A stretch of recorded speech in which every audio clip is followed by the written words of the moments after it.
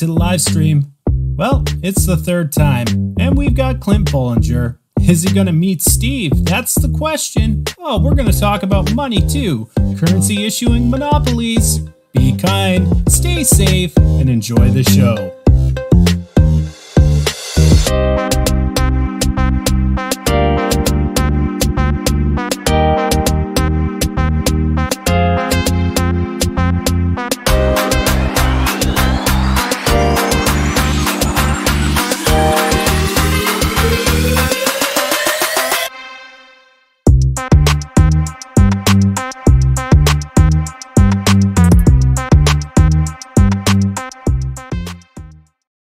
Welcome back to the live stream. It is October 10th, 2023. We've got Clint Ballinger on the show today. We're going to talk about money and where it comes from, uh, both government money, so fiat, and um, bank credit. You know, how does it, you know, come about? It's a interesting topic um, for people outside of economics. It can be quite, you know, fucking mind blowing um, to people within economics, half of them get it wrong. So it's it's going to be an interesting conversation we're going to have. We got a full crew today. Dan's here. He's back from his protest last week of having an Austrian economist on the show, but he's he's willed his way back to come come aboard. We've got Mike. He's somewhere in Massachusetts, close or far away from Boston. And we've got Steve Keen here. I'm going to bring on Daniel Sanderson first. Here he is.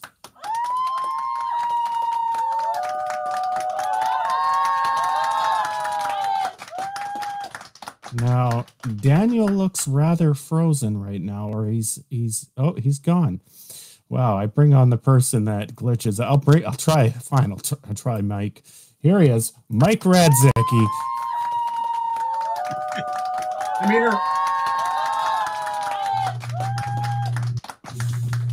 Oh, there we go. I love the technical issues always on the show. Mike, how you doing? Uh, doing well. Uh, sort of uh, closing into the end of our first quarter next week with the, at the university, so that'll be grading and all that stuff I'll have to do. And today uh, it's raining like crazy here, so no uh, yard work, but I've got drywalling to do later today. So Dry, drywalling. Now you guys don't call it gyp rocking down there. Nah, I mean you can. People would know what that means, but it's typically called drywall. Okay, I'm trying to think. I think Canadians say drywall. I think, or maybe it's the Canadians that just you know say jip rock all the time. I don't know. Um, potato, potato. Yeah, yeah, for sure. Um, you're back. You missed a great episode last week. It's too bad you you weren't here, but yeah, I, I, had a carload of students. Uh, we had to go out to a, a, project venue. We do these big projects with the students. I'm the advisor, so we had to go out and do a project thing with undergraduates last Saturday. Mm, I see. Sorry let's, to miss. But. let's let's see what's going on in the chat here. I'm already in trouble. Mike Radzicki. Do I not really say that correctly, Mike? Am I no, saying it too? Too correctly. No, Red, Red fine. That's good. Right. Yeah. It's fine, but is it correct? Yeah, yeah, yeah. Yeah. uh, let's let's bring no, on Dan. No teacher ever got it right on the first day of class. So. Here he is. I'll try it there again. There we go. Okay. D- yeah. Daniel Sanderson.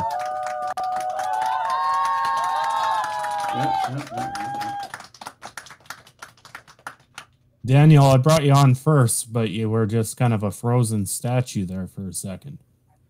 Yeah, it's my testament to ancient Greece. You know, I figured, um, you know, I'm just definitely not an epitome of a, of a human being. You know, how would you imagine some of these statues in Greece with a bucket hat? I just, uh, you know, I just don't think it would fly. Uh, you never know. Uh, 2,000 years from now, there could be a big statue of a man with a fairly good beard and a bucket hat um, somewhere, yeah. you know, yeah. in the, the ruins of human civilization by that point, I guess, with global yeah, warming and whatnot. Uh, we'll bring on the man, Professor Steve Keen. Here he is. Hello. Thank you. I'm eating grapes, Stephen, in case you're wondering what I'm chewing at the moment. Grapes for dinner. Grapes for dinner. Steve, how are you doing? Uh, pretty well. It's just um, pulling my hair out, I must say, with a Minsky model. I can't quite work out what I've done wrong in putting it together. So um, uh, not not as good as I'd like to be, but hopefully I'll fix it up tomorrow. Yeah, yeah. I'll I'll probably tell you it's either you've got a zero in one of your your division equations and you got a zero error, or you've put the wrong operator somewhere. I've actually, I did that for a while, but I think I've actually got a. I've just got to go through and check the logic. I'm deriving it from first principles, so I may have made a an error in tacking on a model rather than doing it properly from first principles. Mm-hmm. Is that I'll, I'll, find out tomorrow. I'll be doing a bit of algebra tomorrow. Mm-hmm. Yeah, I've found because Minsky we don't really have a lot of analyzing tools yet. I save, mm. you know, a lot of different versions along the way, and then I can kind of backtrack yeah. and see, you know, where the error occurred, and then fix it in the more recent version. Mm. Um, so this is great. We we are actually here now. You're going to actually interact with Clint. We've had Clint for about four hours already, um, just kind of practicing. Right. Um, you two interacting. so third time's the charm, and it worked out. So here he is, Clint Ballinger, back on the show. Hello. Hi, Clint. Yeah, never. Hello, Steve. Really good to see you. And Indeed, Clint, yeah. I'm sorry I missed the last couple of times. Clint is the author right. of Thousand Castaways, Fundamentals of Economics.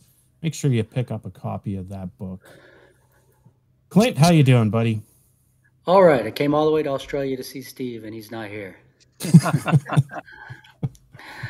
I was just telling. I'm wondering whether to go back there. for the audience, I'm in yeah. Tasmania at the moment, so it's uh, after three in the morning. Been here about a week and a half, so checking it out down here. I was surprised. I knew it would be cold, but I didn't realize it'd be this cold. What's the temperature? Um, let's see. I haven't really.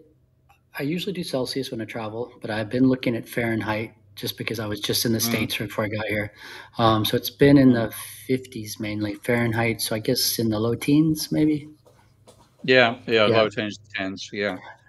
I was ready for some cold weather though. I was working over the summer in Costa Rica actually on the Caribbean side, which is really hot and humid. And then I got back to Dallas yeah. and it was uh, about 43, 44 degrees Celsius every day. Really hot September, um, which has actually been making headlines all around the world.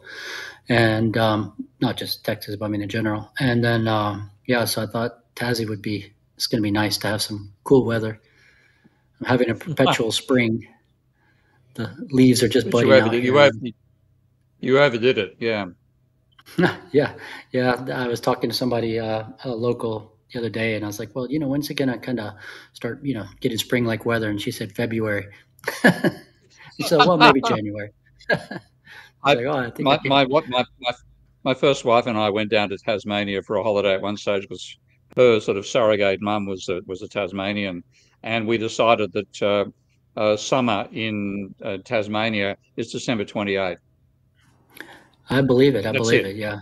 One day. Yeah. yeah, yeah. We're, we're, actually we're actually there on New Year's Eve, I think it was, and we were so New Year's Eve in Sydney. For those who don't know, is normally about 30, 35 degrees Celsius, so close to a, a 90 degrees Fahrenheit. Um, but oh, there we yeah. were in Tasmania, same time of year, and we were sort of fighting with other couples to try to get closer to the open fire. Wow, that's crazy. Yeah, I was in uh, yeah. in Hobart. I managed to get into the city museum, and it's um, or I guess state museum, and uh, really nice. But had a big section on Antarctic expo- exploration, all the base out of here mm-hmm. and mm. everything, and uh, yeah, definitely put me in a cold weather kind of mood. It showed all the clothes they wore like a hundred years ago, and I visited mm. the uh, Mawson huts. So Mawson is one of the Australian. Oh, right. Uh, yeah, yeah, yeah, some really really interesting stuff. But looking at the mm. gear they had in about 1915, 1920, it's hard to believe that they could uh, do the things they did back then. Yeah, with that that equipment. Yeah, talk about stoic. Yeah. We're we're wimp, we're wimps by comparison these days. Definitely, without a doubt. Yeah, it's pretty neat. I was looking; they had little packets of like the food they had and medicines. It was really interesting. Um, I always think about geography is my real thing, so international trade and all. And there were uh, the meat substance they had for exploring was uh, from Chicago, Um, something else they had was from Hoboken, New Jersey, and they had all the little, you know, kind of late Victorian age looking packets of stuff, and a lot of it was from the U.S. actually. Mm-hmm. okay, so we've already got a very important uh, a question from Michael.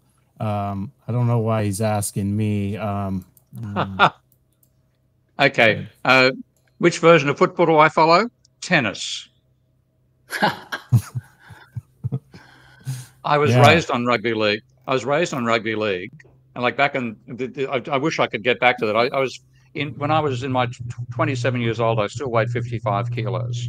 So at school, I weighed about below 50, so you know, less than 110 pounds, and I was lightning fast and very manoeuvrable. But uh, the big big blokes on the other side of the team enjoyed trying to crush me. So as soon as I could get out of football, I got into uh, long distance running, which suited me fine, of course. And I was playing tennis from the age of nine. And uh, I went to my last football match, I think, when I was about 15 or 16. And then I was sort of cheering, and I thought, am I cheering for this shit? It's boring. And I've never been since. So um, any any soccer I'll play is going to be uh, tennis, football. Okay, would be would be soccer, which I regard as a skillful game. Rugby league is two bunches of morons trying to smash each other to shit. Um, I know the feeling. I, uh, I got roped into two seasons. I lived in England for a while of rugby. Yeah. Didn't know what I was doing, and they needed yeah. a 15 basically, and uh, they had some real good players on the other teams, and definitely got killed quite a few times. But it was a good experience. Yeah, I think. I'll tell I you, the AFL is really interesting. I was reading up on the history of uh, how all the different games split. You know, American football and yeah. Canadian and soccer and all. And AFL is actually considered the oldest organized of all of them. Uh, Australian rules football. They had some of the earliest I think that, that, that, games. That's a skill. That's a skillful game. If you've had, if had to watch any Australian football, it would be Australian rules because like somebody's saying there are genetic freaks. You get the most elegant bodies uh, of mm. Aussie rules play. If you had to, had to sort of measure them on a sort of Greek standard, like using uh, by the way, Ty Keynes and Ty Keynes, which Ty Keynes is in Greece right now? Dan, you've been mislabeled. yeah. uh, okay, but uh, if you had to judge uh, football codes on the basis of the bodies, Aussie rules is a mile ahead of any of the others. You get Greek gods uh, coming out of it. They're quite spectacular physiques, and it reflects the the skills involved. The game which involves huge jumps and then very fast running as well. So as, the big, sporting... the big guy here right now is a guy from Dallas on the AFL for I think Colling. Okay. Whatever the team in Melbourne is, Collingwood, Colling. Colling, Collingwood, Collingwood. Yeah. yeah. I think that's who he's with. Um, but he's a big deal here. He somehow ended up in Australia, and he's uh, it's like six eleven or something ridiculous, which is really so, too tall even for AFL. But apparently, he's really good. Yeah, yeah. So, tying this conversation to economics, Geoff Harcourt told me years ago that he played uh, rugby. I'm not sure which of the versions of it into his 70s. Aussie rules. He played Aussie rules. Aussie rules. Yeah. Okay. Yeah. Yeah.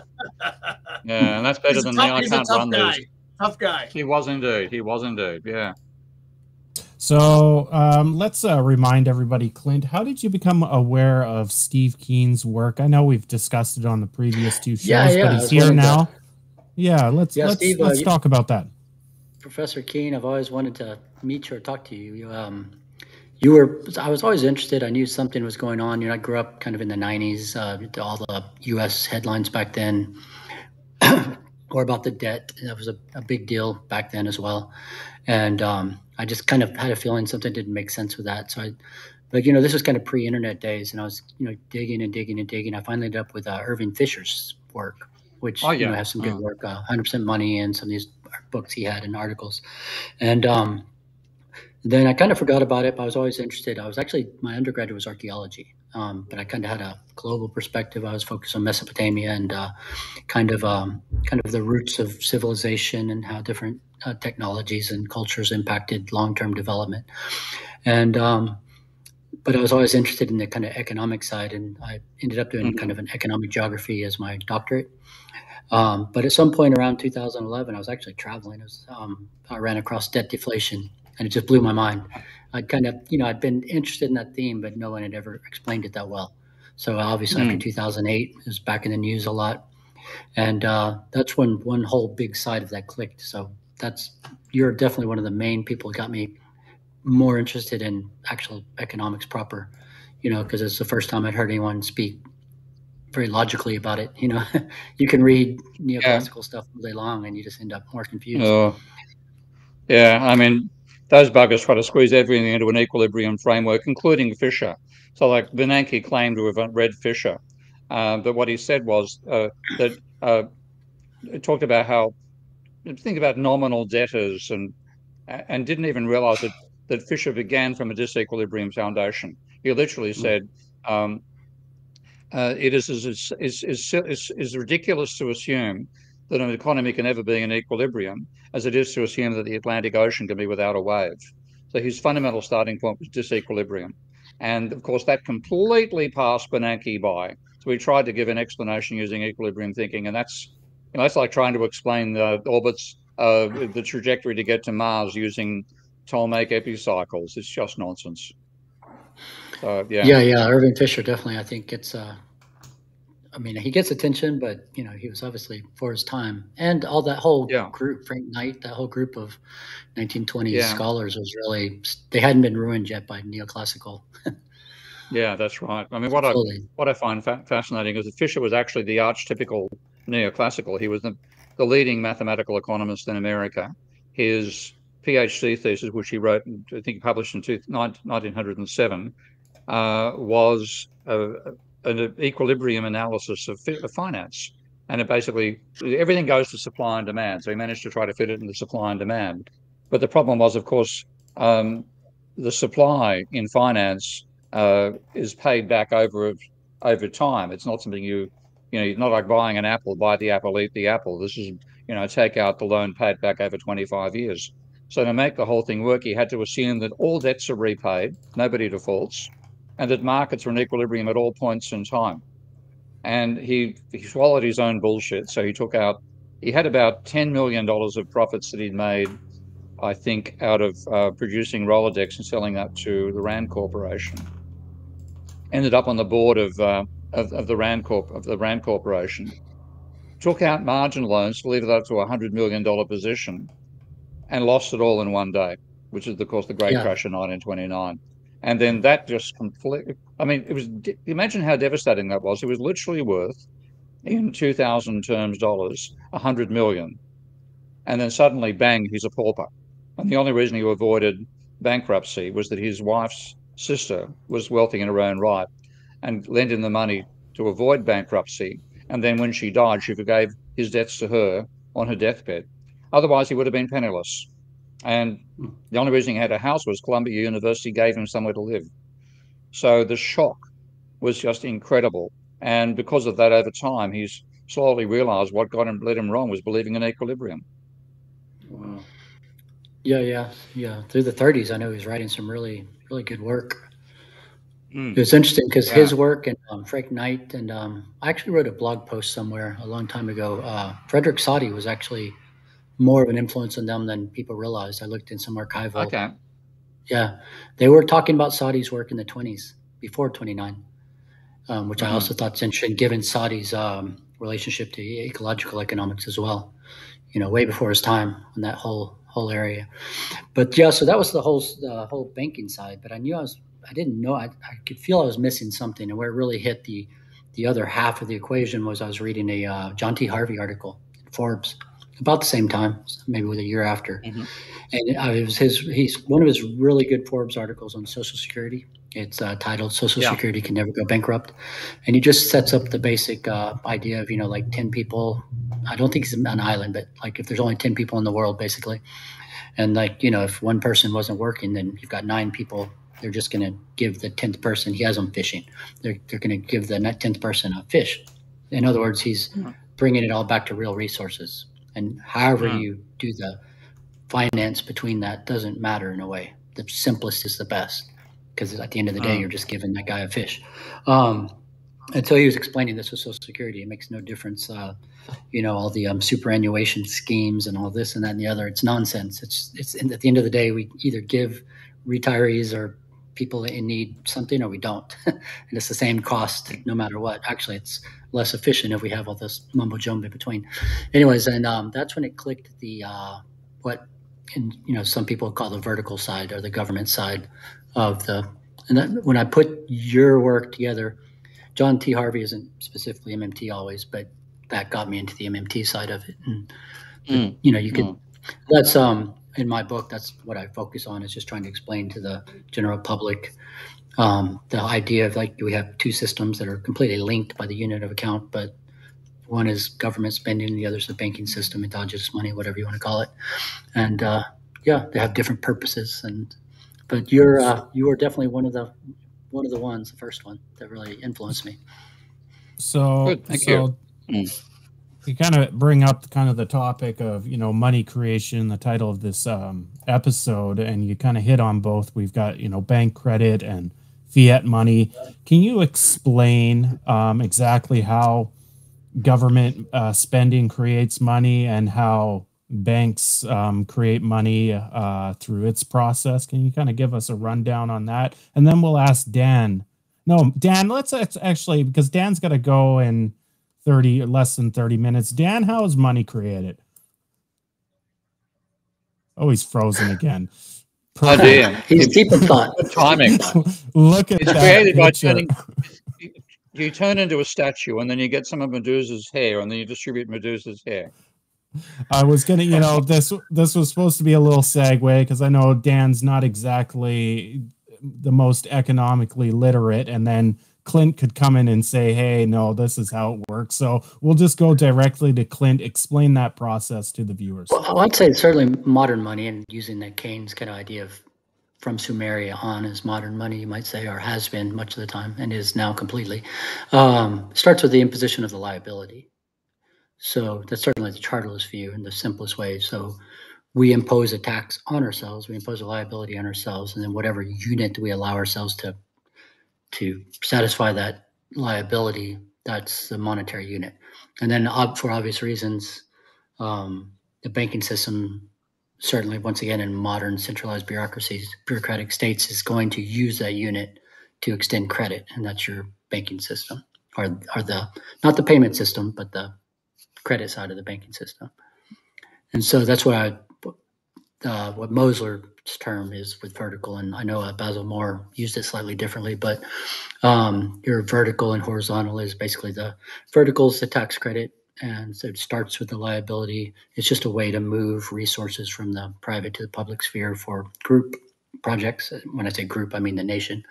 And then the banking system uses that same unit of account and extends credit in, in that unit of account. So that's how they're linked.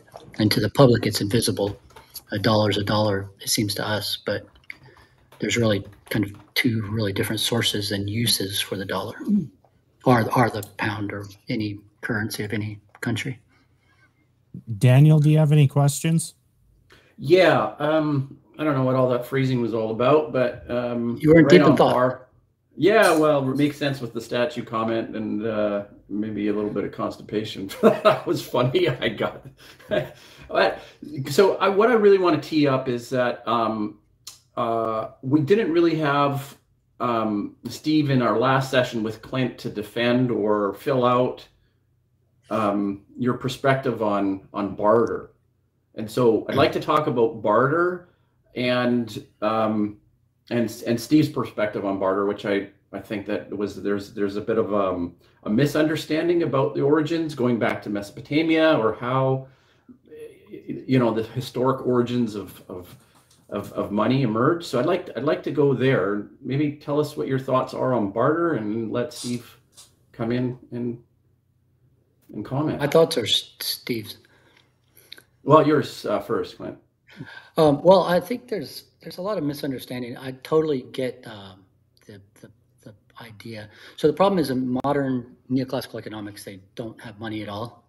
So they can't model money or finance or anything because they just they model it as a strictly you could say a pure barter, whatever. There's there's just no money. Things are just exchanged, and this really, to me, comes mainly from the marginalist kind of revolution with Menger and Jevons and followers, um, where to to make their models tractable, they did this.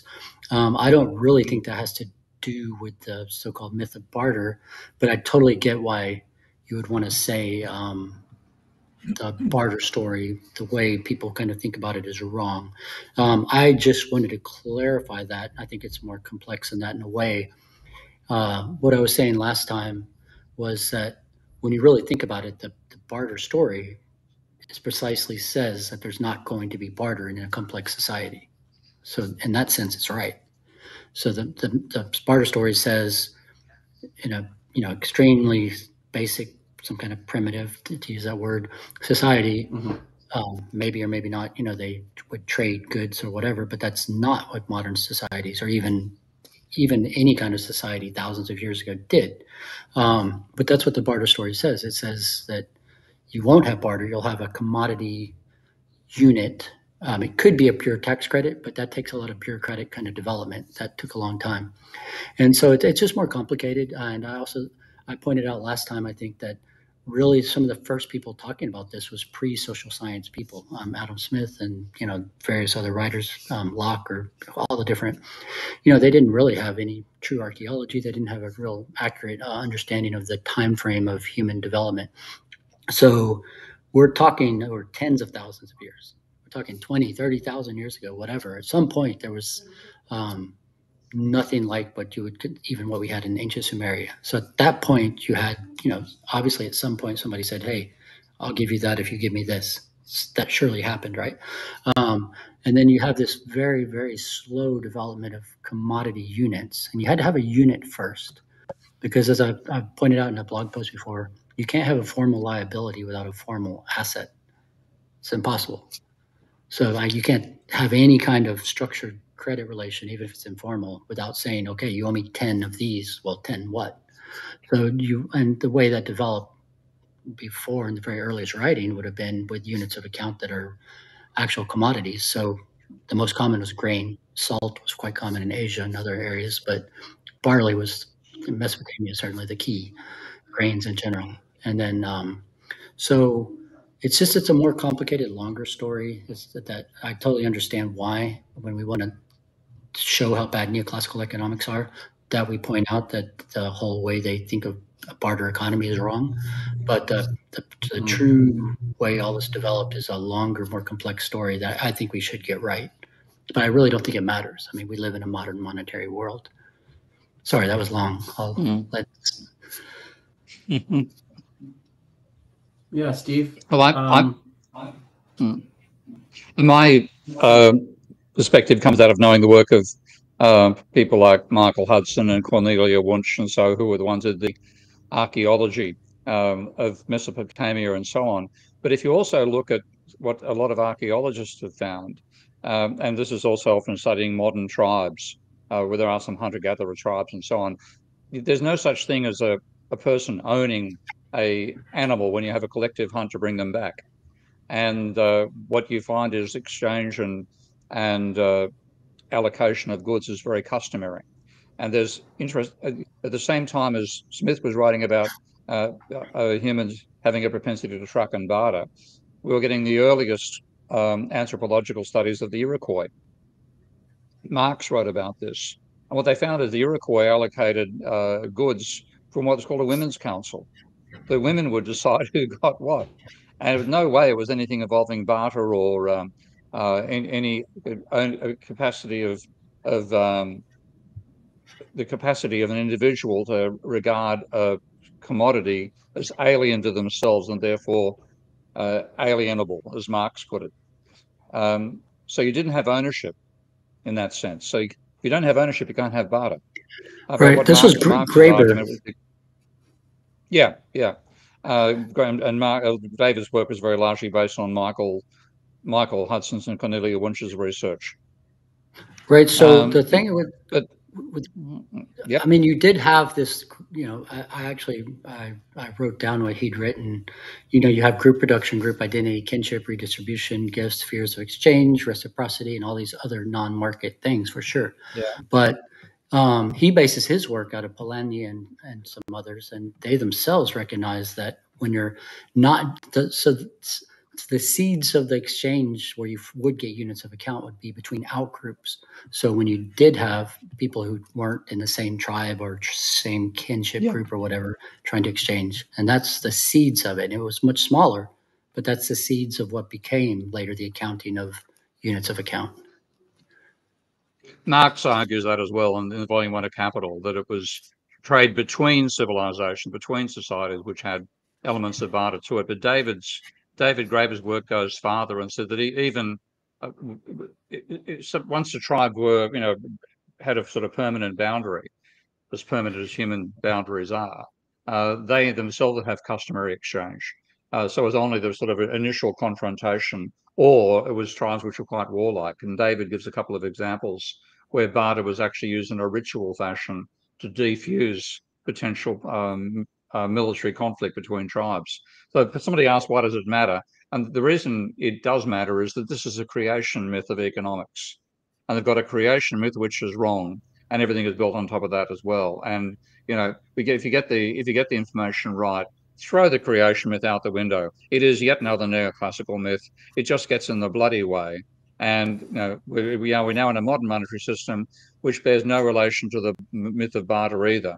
Uh, but of course, neoclassical the neoclassical concept of exchange is based on the myth of barter.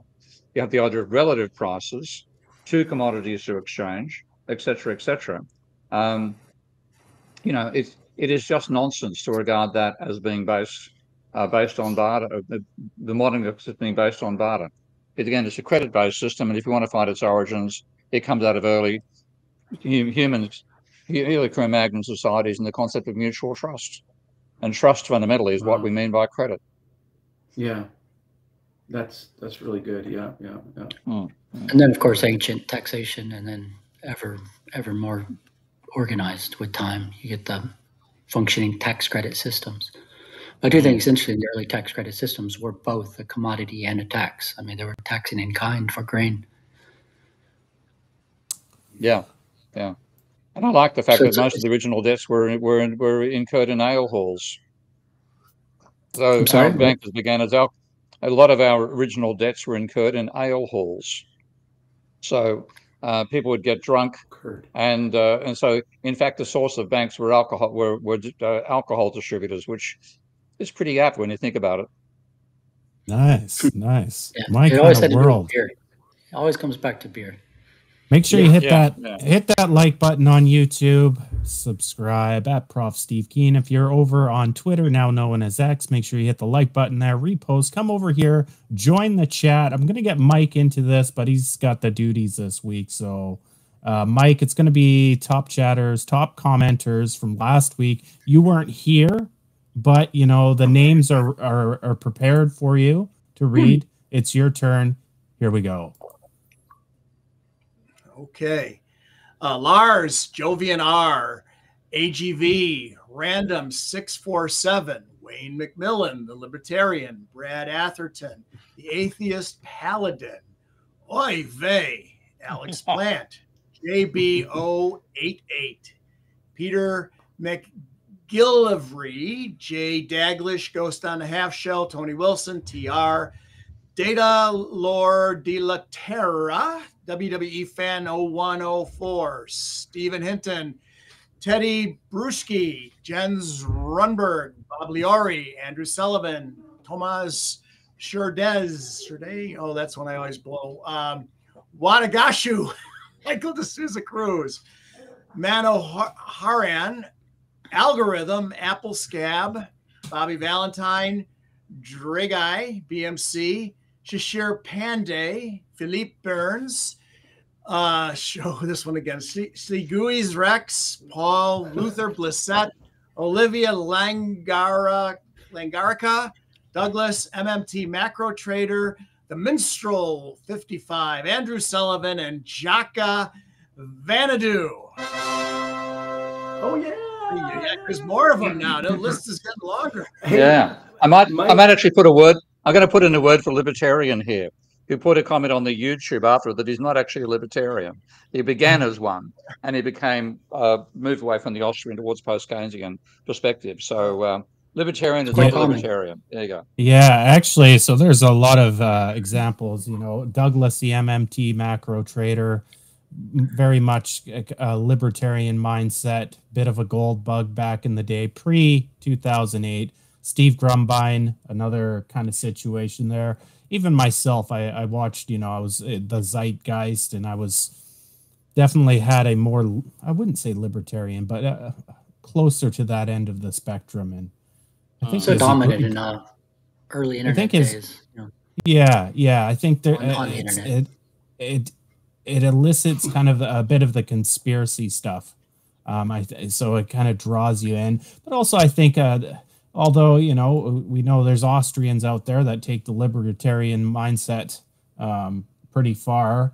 Uh, but I think for a lot of people, it's it's kind of like a growing stage. You know, you grow from being very individualistic. Is that a word?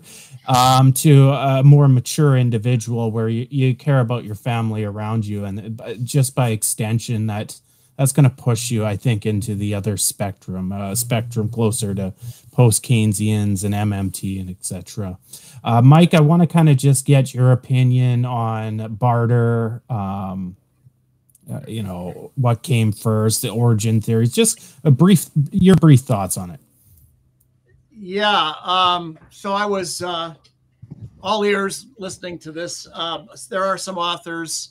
Matt Forstater at UMKC comes to mind, but there are certainly others who write about the origin of money and the origin of chartalism and what have you. And you know, they talk about tally sticks and bones with uh, um, gashes on them, uh, where there's some kind of scoring system going on, record keeping. You know, so in some sense, money is is record keeping. Of course, assets and liabilities, as as Clint kind of uh, alluded to.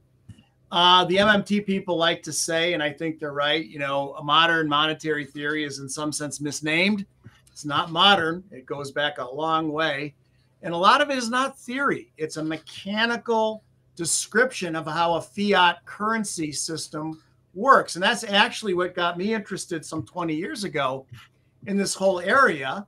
Because when I first heard about it, I was like, that's not what I was taught. That sounds like a little out there. But when I looked into it, I was like, well, most of it is just mechanically describing, as I would do if I was building a model, a system dynamics model, what happens in a fiat currency. It's hard to dispute it. It's like, you know, if you could talk to a banker or a central bank, this is mechanically what happens. That's most of it. There is some subjective stuff. You know, Warren Mosler will always say, you know, there's a political discussion about however it is, whatever political system there is about the size of the public sector. You know, do you want to pay a private company to pick up your garbage or should the, the government do it? Do you, is the court system big enough?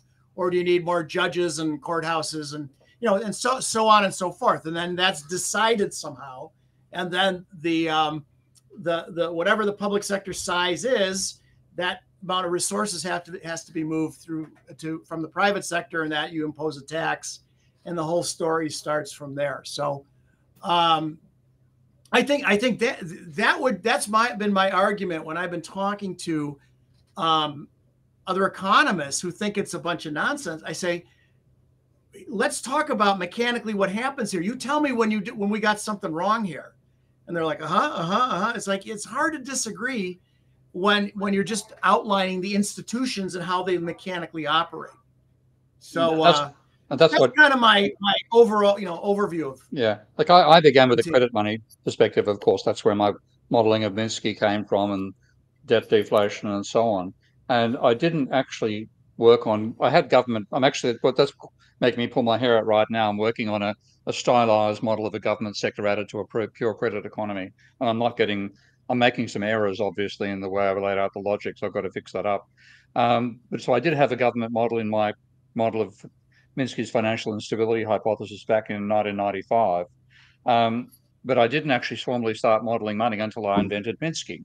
And then uh, when I, I became on board with MMT, in terms of its monetary side, it was literally it was just the mechanics of how it all happens. Because if I uh, lay out what the, the private sector does, um, you have a, uh, the bank increases its assets by creating a loan, and it must also increase its liabilities by adding to a deposit.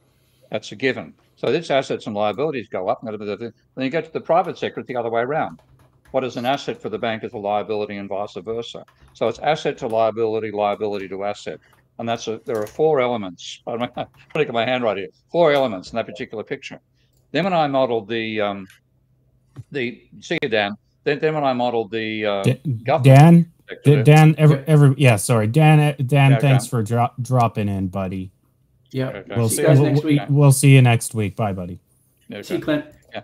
So to bring in the government sector, the government increases um, the assets of, of the banking sector and increases the liabilities as well by running it, uh, having a spending more than a take back and taxation. It increases deposits. That also increases reserves. Uh, but, the, but when you get to the central, so that's an asset liability pair. The same thing applies at the level of the reserves, but that's a liability to liability pair. Okay, because the Treasury's liability when the Treasury runs a deficit, its liability, its asset of the central bank, which is the central bank liability, goes down. The reserves, which are the other liability, go up. Okay. Then when you look at the Treasury, the Treasury has a li- has a liability that goes uh, an asset that goes down, which is the same as a liability going up. And the only matching entry that is its equity has to go negative. When you look at the private sector, the same thing applies there. The private sector's effect of government's deficit spending is for its equity to rise. And so you get eight, there are eight, you know, count them, eight, whoops, eight entries you need to make to get the government money creation. There's only four for the private sector. And it's equity and li- an equity and a, a, a liability uh, change at the government level and an equity and an asset change at the private sector level. Yeah, real quick, uh, the, the way I got involved um, with, with MMT was I read a paper by Randy Wray and Stephanie, uh, well, Bell at the time, I think it was Stephanie Kelton. Mm. I'm sure you've heard of both of them. And in the paper, they lament the fact that modern monetary theory is hard for people to grasp because they teach it with T accounts. And no, they said they make a statement about something like nobody understands T accounts anymore except accountants. Mm-hmm. And I wrote to Randy and I said, I all the assets and liabilities in your T accounts, they're called stocks in my system dynamics package. And I can mm-hmm. model that, you know, and the dynamics of it. And that's when he invited me out to to Kansas City.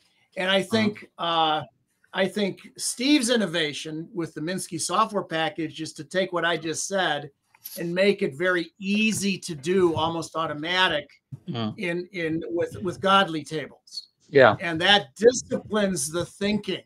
Again, if you want to get the mechanical stuff right, you got to be disciplined. Right? And I think the Godley tables allow that. Yeah, thanks, Martin. That's exactly why I invented it, and I'm delighted it works as well as it does. And it, when you look at it, there's no contest. The government creates money by running up negative equity for itself, which become positive equity for the private sector. And that's another way of putting across the MMT argument about no net money, no net uh, asset creation out of private lending, but net asset creation for the private sector out of government spending.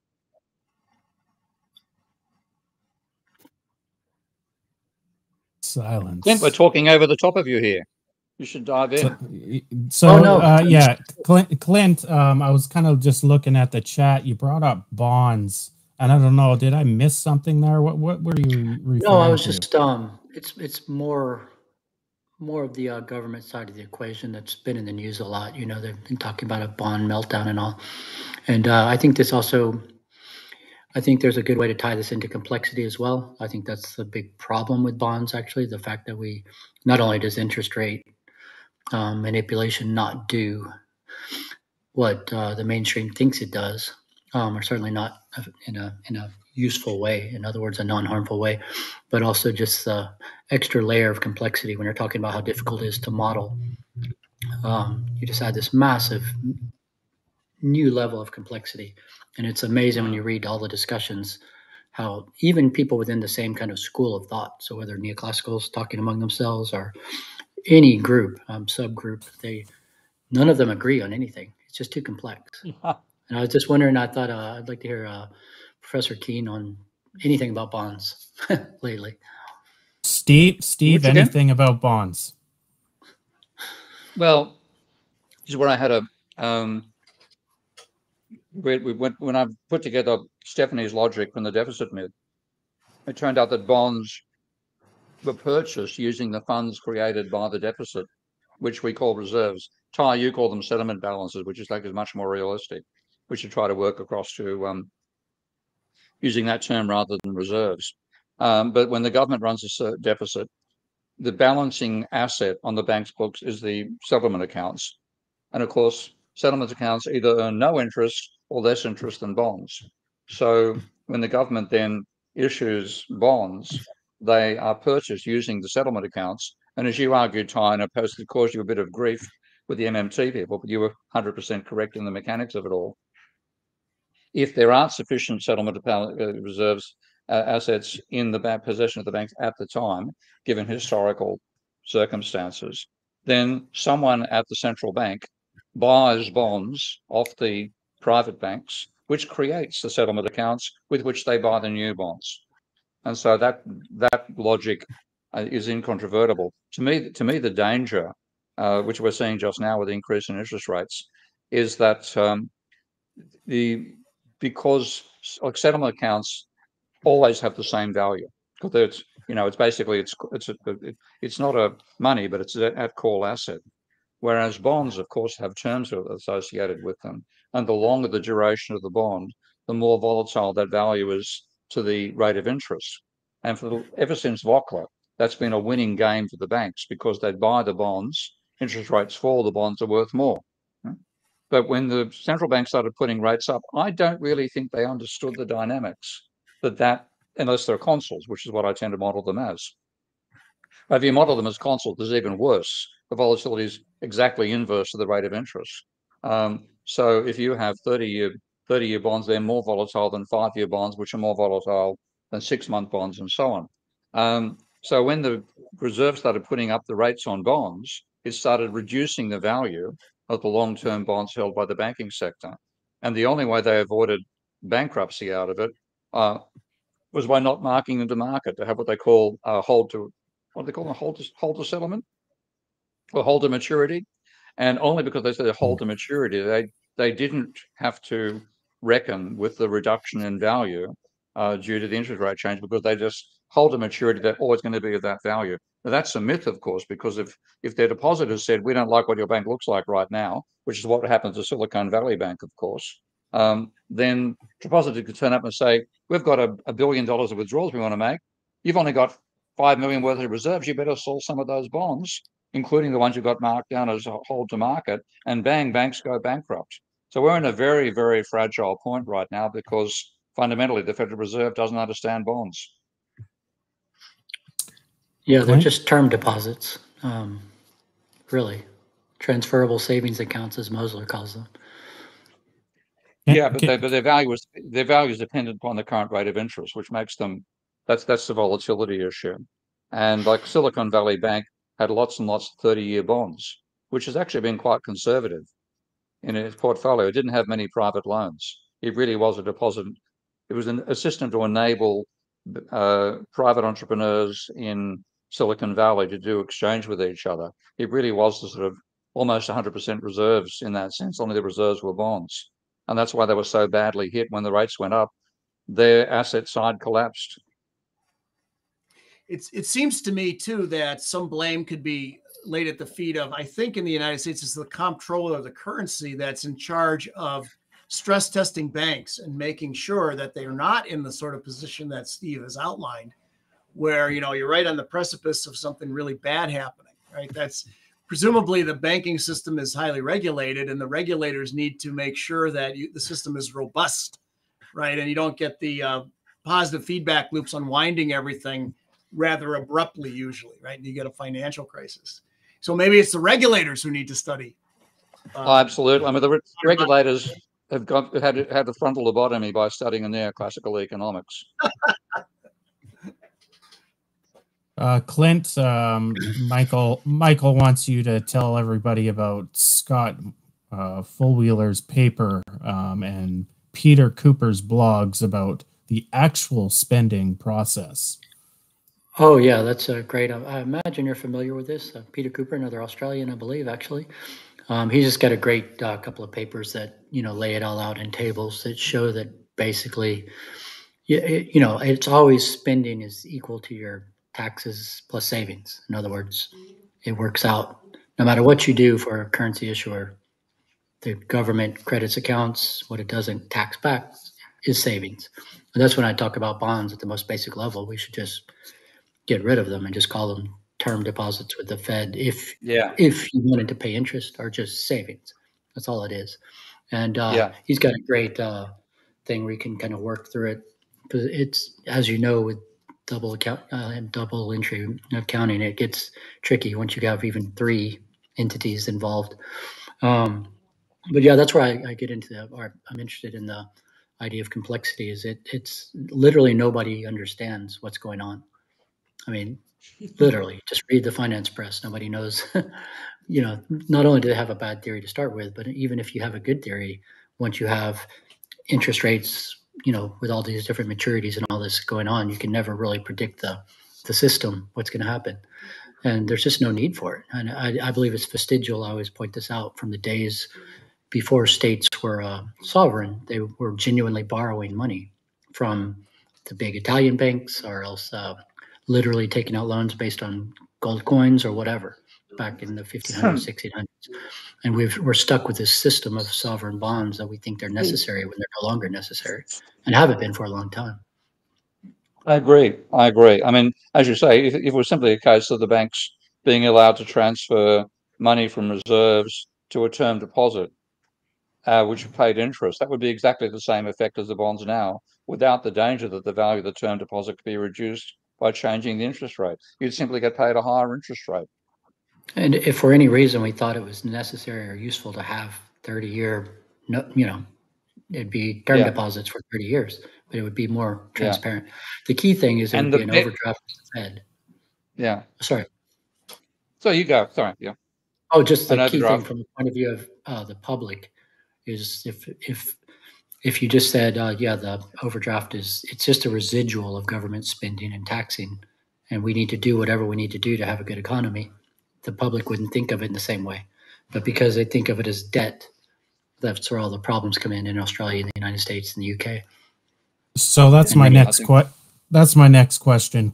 Since we have this modern understanding of um, how money works and you know how sovereign bonds work, can we just do away with them? I, I saw Stephanie Kelton uh, put out some tweets a few weeks ago. I, I don't know if I was reading it out of context, but she said tomorrow we can just do away um, with uh, government bonds. And my question is could one country do that uh, while other nations don't? And how would that affect the, the valuation of their currency? Um, I'm in favor of its a convoluted system myself. I just say let the TGA go into overdraft and be done with it. Um, can can we eliminate the need for so, uh, like government bonds, Clint? Well, it's a little different with the U.S. Um, this is where key currency theory comes into play. Williams came to key currency theory, which turned out basically it's the system we're on. After Bretton Woods, um, we had the the system up until '71, basically into the early '70s. But uh, what ended up happening is what Williams in the 1940s said would happen with key currency, and this has to do kind of a Pareto kind of uh, effect. You're going to always have one dominant currency and it's going to have effects on the rest of the world that are different than all the other currencies. Um, so what happens with the U.S. dollar is different. But yes, uh, I mean, as Mosler always says, you could pay off the debt tomorrow just by changing the column at the New York Fed. It would just be saying, "Hey guys, you don't hold bonds anymore; you hold reserves." It would change mm. nothing. And the argument yeah. by finance people that have they're so in the woods they can't see the trees or or something, or so in the trees they can't see the woods. They think that they need bonds to set like the uh, rates and things like this, which is really weird because they're all free market guys. You'd think that they would be happy for the free market to figure out lending rates, but they think they need like a base uh, thing as a um, like a benchmark setting tool, um, which is weird. They think the government needs to do that. Um, but yeah, yeah, bonds serve no purpose. I mean, China has, for example, everyone always talks about China. China has lots of dollars, which they end up turning into bonds because they buy, uh, they uh, sell a lot of stuff to us. So yeah, they end up with dollars. Oh, and is he frozen? Oh well, Steve, your thoughts on you know the usefulness of government bonds in this day and age? Well, I, I think they're dangerous uh, when you've got a, a, central bank that thinks it can manage the economy by changing the interest rate because since you have bonds having a, a, a face value and a face yield, uh, as you put the rates up, you devalue the face yield. and therefore what's supposed to be a safe asset. It's the whole idea of government bonds in neoclassical economic theory is that they're a safe asset. But they're not safe if the government can change their value by putting up interest rates. Um, so it'd be better off if we had um, if if we had bonds which basically paid the going interest rate. That'd be like that would be. When I have modelled the idea of the government not selling bonds, Clint, one outcome I get is that the uh, therefore the central the central bank has liabilities but effectively no assets, because if the central bank can't buy bonds off either the private bank or the treasury, then it only has a liability side. It doesn't have an asset side. Now, it doesn't matter that the central bank is a negative equity. Okay? It, it is not a common bank. It, it can actually handle that. But when you have bond sales, one little thing I do is just as a rule of thumb is to say that I assume that in the the aggregate of open market operations that the central bank does with the private banks, it buys bonds equivalent to the bonds that were issued to cover interest on existing bonds, and then that therefore means that they they have an asset side. Um, but what it also means in terms of the mechanics of um, of uh, assets and liabilities of the central bank is that the central bank remains a constant equity. Let's say let's say zero equity. That's quite okay for them to have zero equity. Um, so it's paying interest on government bonds, which drives the central bank at a negative equity, unless the central bank can buy bonds or some other asset off the off either the private banks or the treasury and the, off the private banks it's indirect, off the treasury it's direct. Mike, uh, your thoughts on you know the usefulness of government bonds?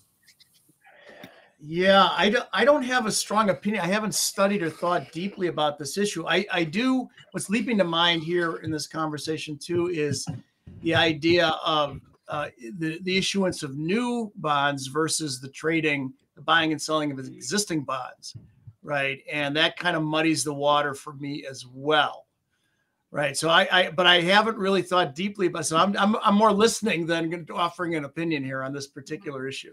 Well, there's an interesting point Warren Mosler's made, which is to say that because um, government interest payments are a, a stimulus for the finance sector, then he's saying increasing rates being a positive for the finance sector. But that's only true for new bonds. It's not true for existing bonds.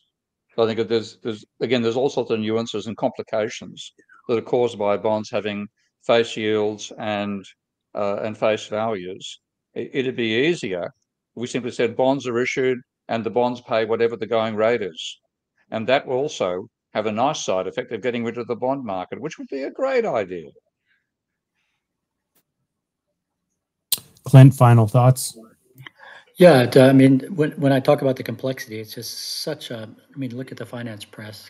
Can you guys hear me? Sorry, I'm a little bit. Frozen. I can hear you. We can hear you. Yeah. Yeah. Okay. Yeah. So the um, yeah, just imagine all the uh, extremely smart people in finance and at the Fed and everywhere else if they actually looked at production. I mean, it's funny that uh, free marketers always argue for supply and demand, and yet, if we're gonna uh, keep the price level stable, the way to do that increasing material well-being is by increasing supply, right? Not not trying to tamp down demand. Makes no sense. I mean, if you're if you're at home and you're hungry, you don't say, "Well, I'm just gonna, you know, try to suffer my hunger more." You figure out a way to get some food. I mean, really, at the end of the day, it's real resources, and that's what the smart people should be working at. And uh, yeah, the whole entire bond infrastructure is just a massive waste of time. It's vestigial and we live in interesting times because in 1971 we uh, started truly having modern money, and we're still in the process of getting rid of the vestigial um, early modern uh, belief that bonds are necessary for modern states. Mm. Nice, uh, Clint. Let's. Uh, we did this in the first first go around in part one. We're in part three now. Uh, let's talk about your book. You know, um, just to remind people, and we've got lots of new viewers as the show show's growing since you were first on. Um, let's talk about your book. What what made you you know come up with the idea, the title of it, the content? What was the genesis of that process? The real basic idea was simply the idea of looking money, I hate the term money usually. I, I always say use say specifically what you mean. Do you mean reserves? Do you mean bonds? Do you mean coins? Do you what what cash? What do you mean? But um, money in general is for organizing things. And public money, when we impose the liability on ourselves and create a tax tax credit system, is to organize public goods. So, um, you know, obviously, historically, it's been the military and all the bureaucracy related to that. Um, we've realized we can use that power for good, building bridges, um, uh, well, whatever can increase, uh, you know, public good. And there's various reasons why certain things make more sense as a public good. Um, and then you do have the credit system that generally funds private or non-government activity that ideally is productive. So um, profit-seeking organizations, once again, organizations, it's all about organizing, um, do things in search of profit that, you know, this is the free market idea that create more goods and services. And between the two of those, if you optimize both of those, you can get the, the greatest amount of, you know, the, the right balance of you know, a good level of public goods, but with a high level of material well-being as well. So basically, that's the vertical and horizontal systems. And um, so that's the entire structure of the book. And it, the lead up to the very end, though, I should have spent more time on was precisely the idea that the last step that we need to take is getting rid of bonds because it adds so much complexity that the public thinks we're in debt and um, smart people are wasting entire careers on something that is completely vestigial and not useful. Why did you? Uh, where did the title for the book come from? What uh, Thousand Castaways: Fundamentals of Economics? Where did you get that from? So the Thousand Castaways was because one, there's the old traditional, is often in a lot of Austrian economics, but in economics in general, the one person on an island or, you know, two people on an island, and the idea is that so many of the processes that are important to modern economies is uh, like I said, organization, so it's emergent properties. So in the productive side, a lot of it's emergent properties, and then also on the public side, it's public goods. So I made it be a thousand people get stranded on an island. I imagine like a fleet of ships or something, to simulate the emergent properties and the need for public goods and the organization when you can't just have like 10 people and talk about you know things face to face so our monetary system is a way to organize activities, public and private. And so that's why a thousand castaways. And the I started to call it principles of economics or something like that. It's a, kind of a jab at like Mankiw or any of those books. Um, I really think that Econ 101 should be start banking system and public monetary system. That should be the fundamentals of economics. Like when you go into Econ 101 and 102 in the U.S.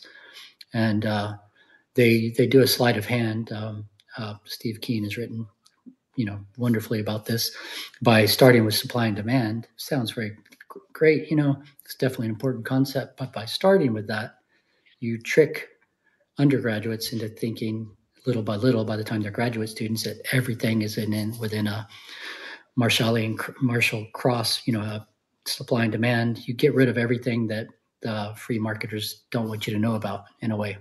So um, yeah, so the, the fundamentals of economics is a little bit of a jab at those macro textbooks.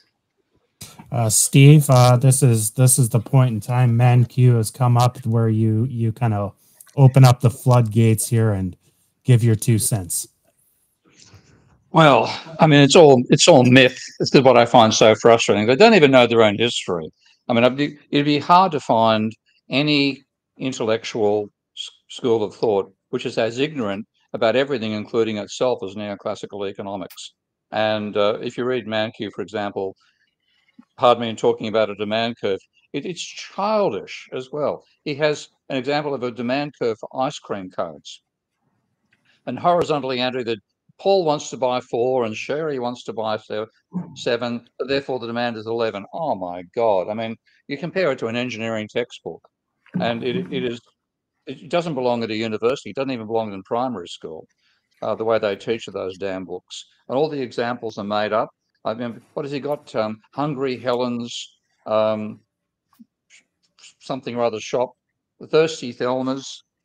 What a load of shit! I mean, it's all childish, bloody examples for a fictional world where none of the fictions actually exist in the real world. There's my trashing of Mankiw again. Yeah, it's incredible. I'll give, the, um, credit for one, I'll give credit for one thing. He did a very good analysis of why the Cobb Douglas production function doesn't fit international data. That was very well done, and I wish he'd stuck at that and not written his textbook. Mike, uh, go ahead, Mike. So, yeah, just to, to leap in. Um, I've said in the past on this on this live stream that uh, from a complex systems point of view, there's kind of two reasons that we get locked into bad situations. You know, we we have a war on poverty since the mid 1960s. We still have poverty. Well, why is this? This sort of thing. Either from a negative feedback loop perspective, you have policy resistance. The policymakers yank the system this way, but their goals aren't aligned with everybody else, and they pull the system back that way. Or with positive loops, you have path dependent processes. So you get locked into inferior technologies. And I think economics textbook textbooks are an example of path dependency. We're locked into an inferior technology. So, for example, some years ago, a textbook rep came by and they, you know, they're always trying to have you adopt their text. And I said, no, no, I'm doing my own thing. Uh, so I don't need to look at your text. And then this guy said, well, I'm we're, we're instructed if any professor has some innovative ideas to bring, you know, bring it to the editors. So I said, well, here's what I'm doing. And I was doing system economics with system dynamics. So a month or so passes, and I get a letter from the editor saying, This is the most innovative thing I've ever seen in my life, economics. There is no way we would ever ask you to write a textbook using this stuff because we wouldn't sell any books. That, you know, everybody across the country who teaches economics expects the standard story. Mm-hmm. And they would we'd lay your book on their desk. They have no idea what's going on. Dave Colander, very well-known um, economist and econ textbook person, and I know Steve, you know Dave. I uh, Clint, I don't know if you met. I have, but, yeah. Uh, he, he always would say there's a 15% rule, and that is you can be innovative in your economics textbook by 15%. 85% has to be the standard stuff, or they won't publish it because everybody expects there's an installed base of econ professors across the country or the world for that matter who know have been taught and have been teaching the standard story mm. the neoclassical story and they won't they won't deviate from it it's yeah. locked in and I, I, I dave I actually saw I've met Dave a couple of times, and I we were he, I was in the audience. He was on the panel for a session on the 50th anniversary of John Muth's paper that gave us rational expectations, and I, I, I think I think Sargent was one of the others there. You know, people of that you know caliber anyway, caliber in inverted commas. And Dave was quite clearly emotionally intimidated by them. He was trying to make critical comments about it, and he was shut down, and he basically moused back a bit you can imagine what I did and said. Um, so yeah, it, it is really a case of intimidation. And of course, the idea of 15% applies, well, you know, this text is going to be 15% deviant, so it's 1.15, and the next is going to be 1.15 squared, so 1.325, etc. No, 85% is the reference point. They will not let you get rid of that core. It always goes back to Marshall. So he's 15% different to Marshall and will always be 15% different to Marshall. He'll never bring in the stuff that you and I do. and of us too. Yeah. yeah, so probably the leverage point, again, we've said this before in this broadcast, the leverage point is probably not, you know, Econ 101 at major universities. It's probably writing for the general public, writing for the business community, using these sorts of venues that we're doing now to get the word out because the other, you know, the other route, the traditional route is is is locked yeah. in. They are, yeah. So if you're watching on YouTube, um, hit that like button, subscribe to the Prof. Steve Keen channel. I see people watching on Twitter. I don't really track that feed very much, but there seems to be a steady number of people on there between between 10 and 20, which is usually they just kind of watch for a second and come over here. But if you're staying there, make sure you hit the like button there, repost um, but I do encourage you to come over here because we can get you in the chat feed if you have any questions. I've got Clint, you've already done this twice before. You know it's time. I've got to put you on the spot. You've got to read a lot of names. The list is growing, the names have gotten harder. Are you ready? All right, I can't yell it out. It's uh, four in the morning, but I'll. Uh, That's you can you you can do it in your do a yeah do a smooth radio voice then. Here it is. Right. Top chatters oh, commenters. Oh, lot here from last Part week. Blocked. I can't see. I've got Jevin. Lars. Yeah, Lars is the first one. Sorry, I okay, should move Lars, that. AJV, Random Six Four Seven, Wayne McMillan, the Libertarian, Brad Atherton, the Atheist Paladin, Oive, Alex Plante, our plant, J, J, J Bay 088, Peter McGilver, McGilveray, Jay Daglish, Ghost on the Half Shell, Tony Wilson, TR, Data Lord De La Terra, WWE Fan 0104, Stephen Hinton, Teddy Bruschi, Jens Runberg, Bob Leori, Andrew Sullivan, Oh yeah, we had this one before. Tomas Surdesh, Surde. I don't know. We got that last uh. time. Wada Gushu, Michael De Sousa Cruz. Good to see you, Michael. Manorian, uh, Algorithm, Apple Scab, Bobby Valentine, Dre Guy, Bivek Bivich, Shishir Pandey, Philip Burns, Slug US Rex, Paul Luther Blissett, Olivia Langarica, Douglas MMT Macro Trader, The Minstrel 55, Andrew Sullivan, and Jaka Vanindo. Oh.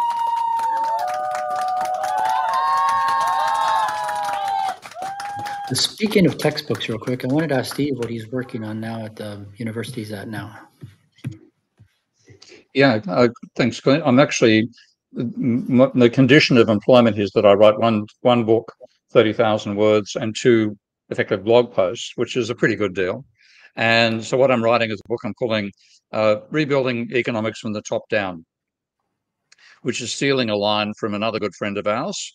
Um, uh, and I'm suddenly frozen for another Canadian. Pardon me. Oh God Almighty. Um, uh, but, uh, using, sorry.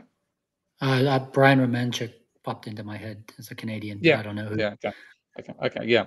Um, so the idea is we don't need micro, and the micro they do is wrong anyway. So you can't have micro foundations to macroeconomics. That's both coming out of complexity theory, uh, where the, the paper. Yeah, do you, do you know the paper by Philip Anderson? More is different. Mm, rings a bell, but uh, refresh us. I'm it's worth read, It's worth reading. Yeah, it's worth reading. Philip Anderson is a is a Nobel Prize winner in physics, so a genuine Nobel Prize, and oh, he was okay, involved yeah. in fundamental particle physics, and then got involved in a battle over whether you could derive all of the rest of knowledge from physics. And there's a I've forgotten the, the guy who was pushing the other case, saying uh, everything else is stamp collecting. Not not not Rutherford who actually said that, but a modern physicist who was saying we should reduce chemistry to physics and etc. etc. And Anderson was making the case that a combination of complex nonlinear interactions and large scale means you cannot derive a higher level of analysis from a lower level. So he called what neoclassical economists do, which is trying to build micro, use micro to build macro, constructionism. And he said, reductionism makes sense. You can take a complex system, break it down into parts. That doesn't mean you can start from the parts and build the complex system. So we have the fallacy of constructionism in neoclassical economics pardon, I've got a big truck going past outside. Um, so I then use that as my foundation and then also show work from complex systems analysis, which uh, is where you get like Lorenz's model of, um, of fluid dynamics. You only get complex interactions out of three or more dimensional systems. So once you have three dimensions, and Lorenz's model just had three dimensions, X, Y, and Z, and three variables, three parameters A, B, and C, and you get an incredibly complex pattern coming out of that. But if you break it down to two of those, you lose the complexity completely. So reductionism doesn't work even with a three equation system when there are nonlinear interactions between the different components of the system. So that's a, a large part of the book. And then I get into, I have a bit of fun, by the way, Clint, you'd appreciate this. Um, the idea that firms face rising marginal cost is a neoclassical assumption of diminishing marginal productivity, which in real firms doesn't apply. They all have excess capacity. They they're designed by engineers rather than economists, thank God. So the factories get more efficient, but they're closer to capacity. So what that means is you have an average fixed cost. Yeah, you have declining average total cost and constant variable cost. So I, that's been something I've known for decades, and you you can find that back in Andrews back in the 1940s. Well, you get it. This gets into geography as well. Uh, agglomeration Sorry? effects from increasing returns industries. Agglomeration yeah, effects from increasing returns industries. You, you, don't, well. you don't really need it. You can. All you need is the basic rule that applies in most markets today of non-price competition. So you have firms that are competing against each other not on price but on product differentiation. And then if you're a mature industry, an extra sale by you is one less sale by one of your competitors. So you can have a horizontal demand curve for the individual firm. So price is constant. You have a horizontal variable cost curve because variable costs are either constant or falling. So the gap between price and, and variable cost is always positive and may even grow with volume. And that means you do the mathematics, the differentiation, marginal revenue always exceeds marginal cost. And therefore, the sensible thing for a firm to do is sell as many units as possible. So I've done the very simple mathematics to prove that. And then I'm going into showing how you can derive macro from macroeconomic definitions. So you can start from the definition of the employment rate and the definition of the wages share of GDP and derive Goodwin's cyclical growth model of the economy. You add in private debt, which gives you the financial system, you get Minsky's financial instability hypothesis. And what I'm doing right now is adding the government sector to that. And then I'm going on to, of course, explain modern monetary theory and money creation. And I've also got to cover the role of energy in production because that's one thing which um, economists, including their post Keynesians, don't have consciously in their models the role of energy in production. And what I realized about five years ago was that in, the simple um, little saying, labor without energy, energy is a corpse, capital without energy is a sculpture. So energy is an essential input to both labor and capital to enable them to do work. And therefore you have, that therefore necessarily means you have waste as well. You can deplete resources, all this sort of stuff. So it's a foundation for ecological economics at the fundamental level. So that's, I've got to fit all that in 30,000 words.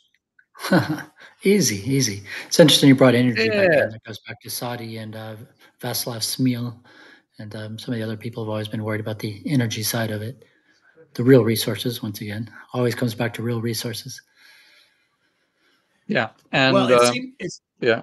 So, to Mike, yeah.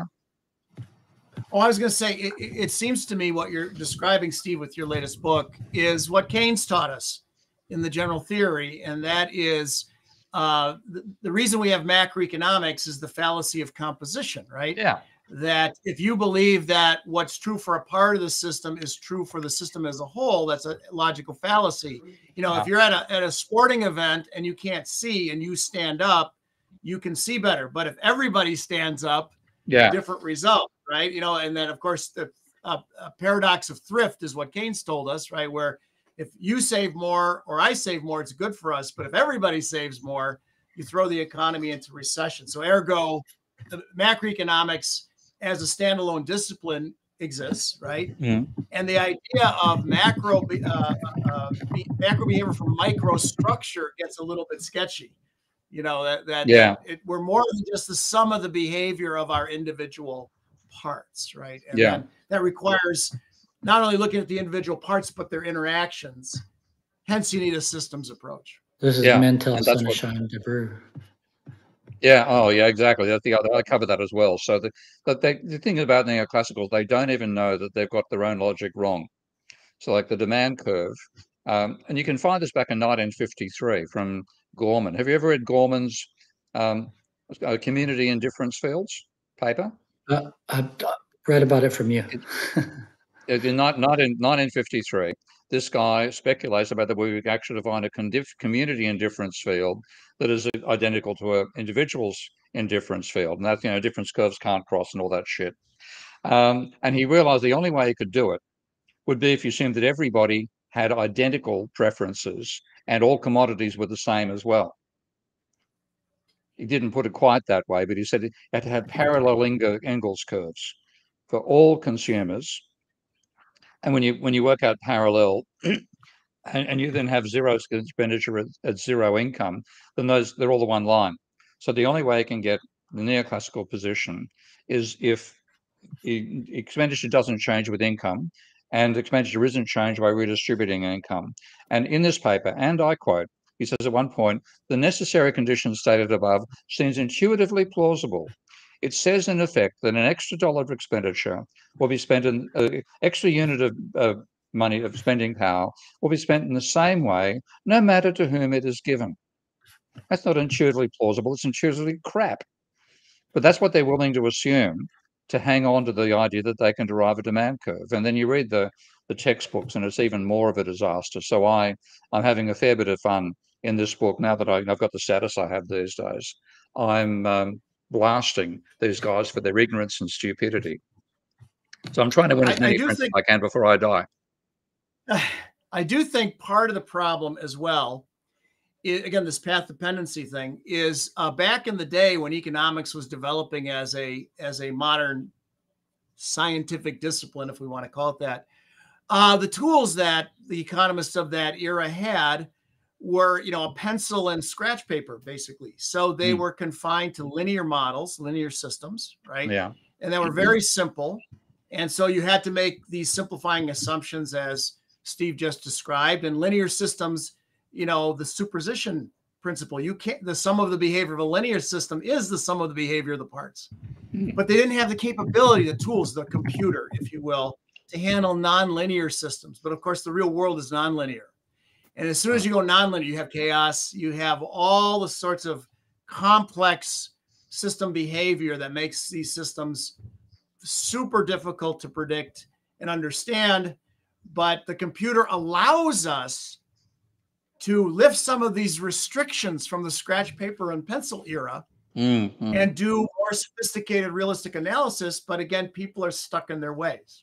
Yeah, this is one right. of the reasons i think it's so important that we get rid of bonds. Yeah? Because, because of the over because of the complexity. Sorry, Mike. I don't know if you're. I'm getting a bit of delay here. Yeah, no, no, no. Please, Clint. That's just the the entire. Um, this is what I was bringing home with the recent headlines. Is it's just you can read very smart people, tons of data at their fingertips, computer programs, and everything, and not even just the diluted neoclassicals, but everybody. Um, you just there's there, there's no way people can understand the system with bonds, with that added layer of complexity that's completely superfluous. Yeah, I, I think that's a real problem. Yeah, I mean that that's that that's the level of practicality and people's capacity to understand things. But that's something people actually want to understand, and they still don't understand that. Whereas neoclassical don't want to understand that you can't work in equilibrium and don't want to understand that nonlinear right, right. relations mean things don't work.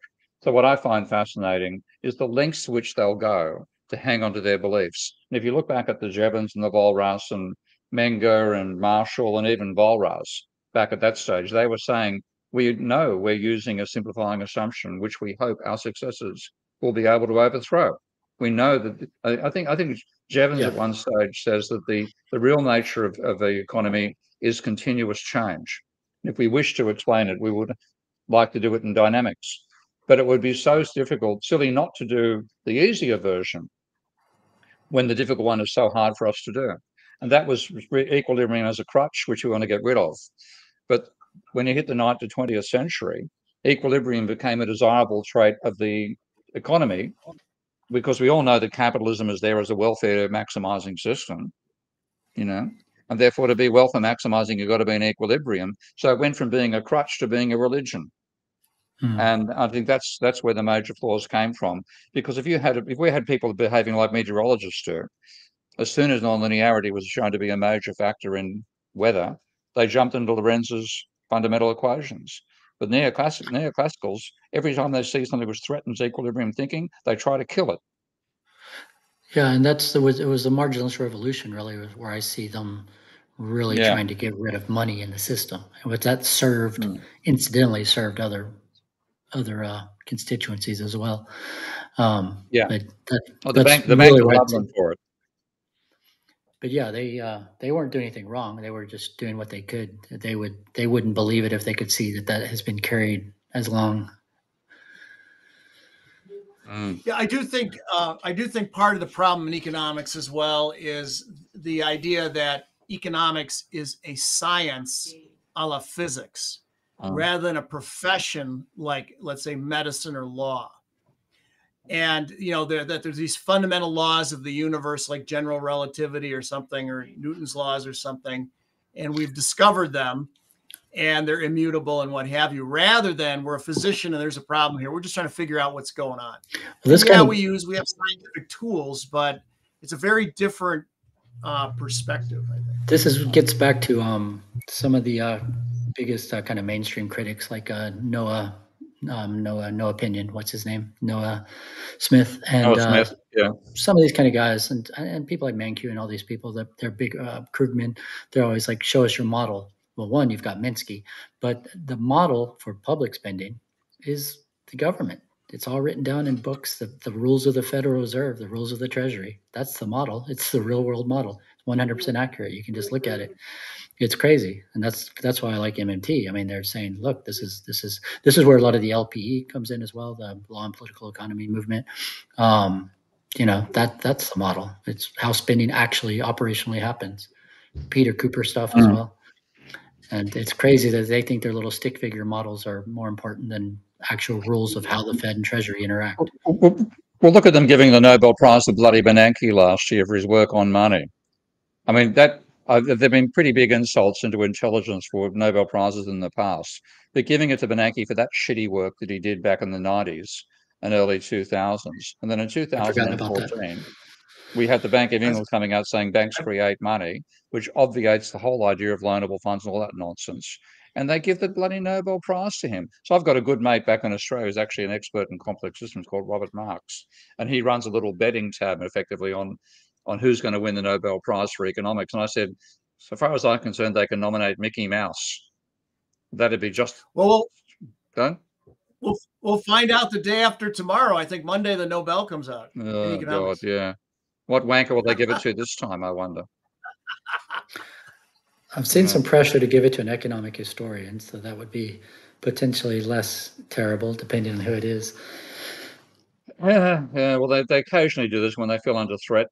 That um, yeah, I'd, I'd take the money though. WWE fan vote for. I'd definitely pick the cash and run. I was, I was just going to say, I'd have Steve's, a lot of fun writing my speech. Steve's a, a great economic historian that can cover all angles of economics from every school. You should actually um, take that. Pro- now, if they gave it to you though, after all these years of really shitting on it, boy, oh boy, that would be it. Would be like if Stone, like when Stone Cold Steve Austin won the WWE Championship in 1998, and he was always just shitting on it, anyways, right? It, it, you would be like the Stone Cold Steve Austin of economics if you won the Nobel Prize. The economics the economics profession is like professional wrestling. should model the, uh, very entertaining. professional professional wrestling is at its entertaining. You could trace uh, the banking transactions of how the money got to your account, and that would be your. Right. Yeah. Oh exactly, yeah. Yeah. Good. Uh, yeah. well, if you if you've ever right. read if you ever read Hayek, uh, his Nobel Prize speech was actually extremely good. And he said, he basically said it shouldn't, isn't a science. Uh, and he made the mistake of saying complexity meant complicated, which is the only mistake he really made. Uh, complexity, as we know, means nonlinear interaction between a small number of system states. Um, but uh, I would love to be the like he was he bookended it by saying it shouldn't exist, and not the bookend also it should be abolished. But thanks for the money, guys. It won't happen, of course. This is all fantasy. This is almost almost more of a fantasy than a Mankiw textbook.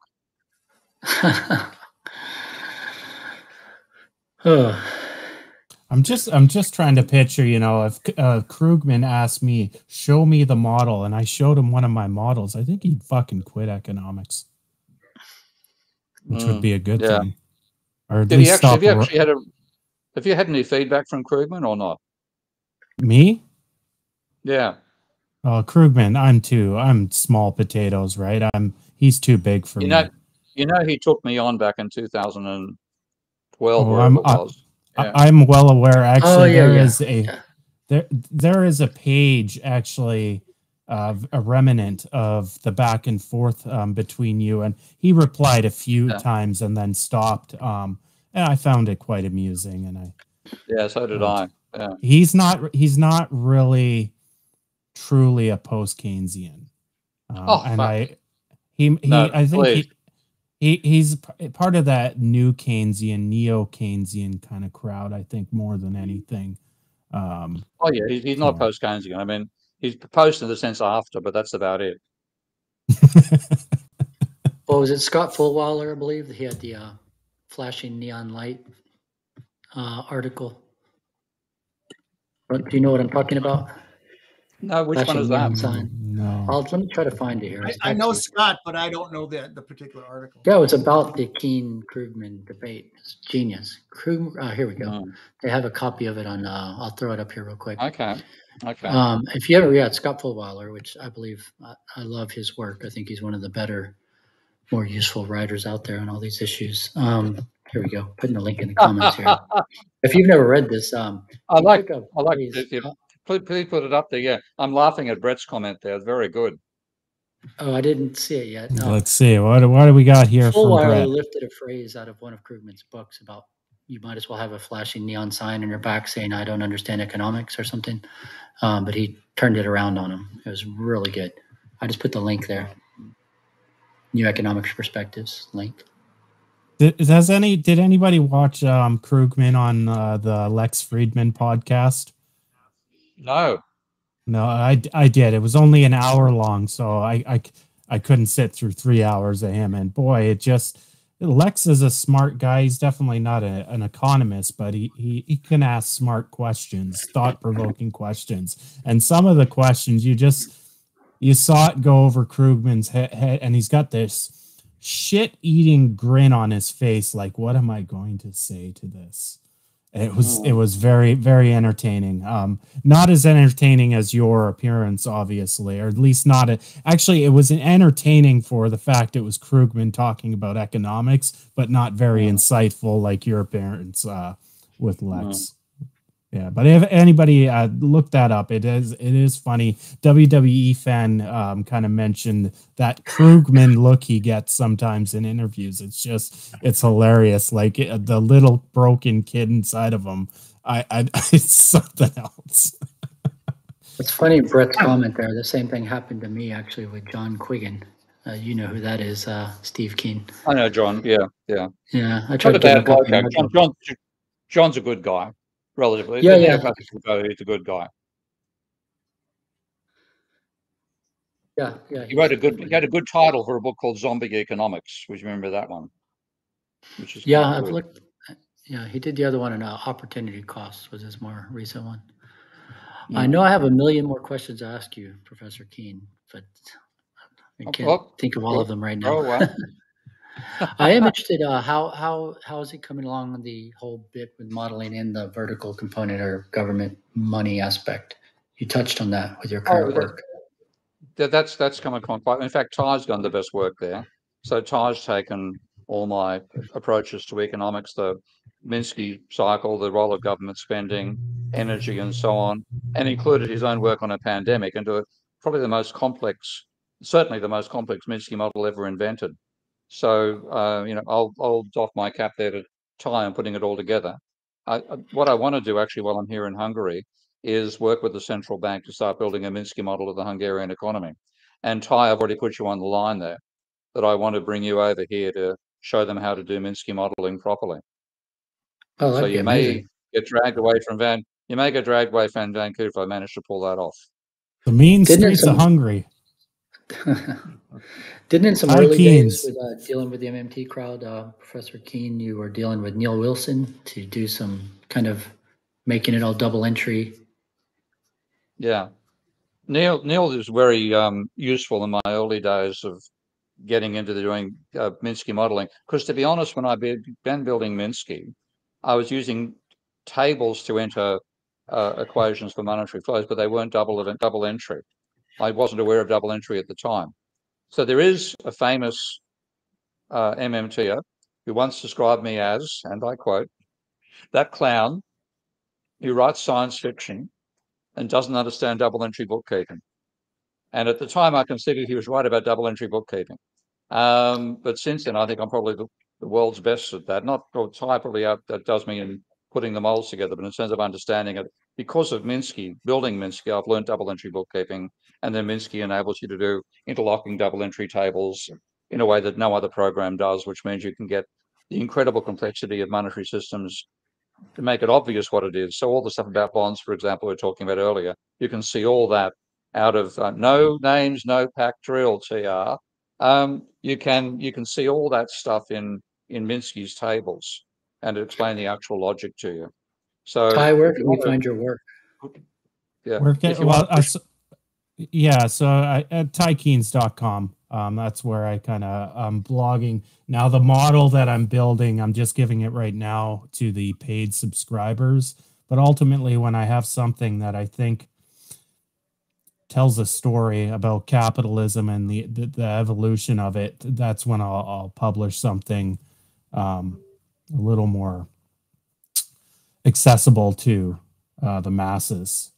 Um. I, I, can actually, uh, Clint, I can send you the model, and I've been I've been uh, documenting um, building it, so I can kind of send you some of the work via email so you can check it out. Um, WWE fan 0104, sure, we can do some news right now.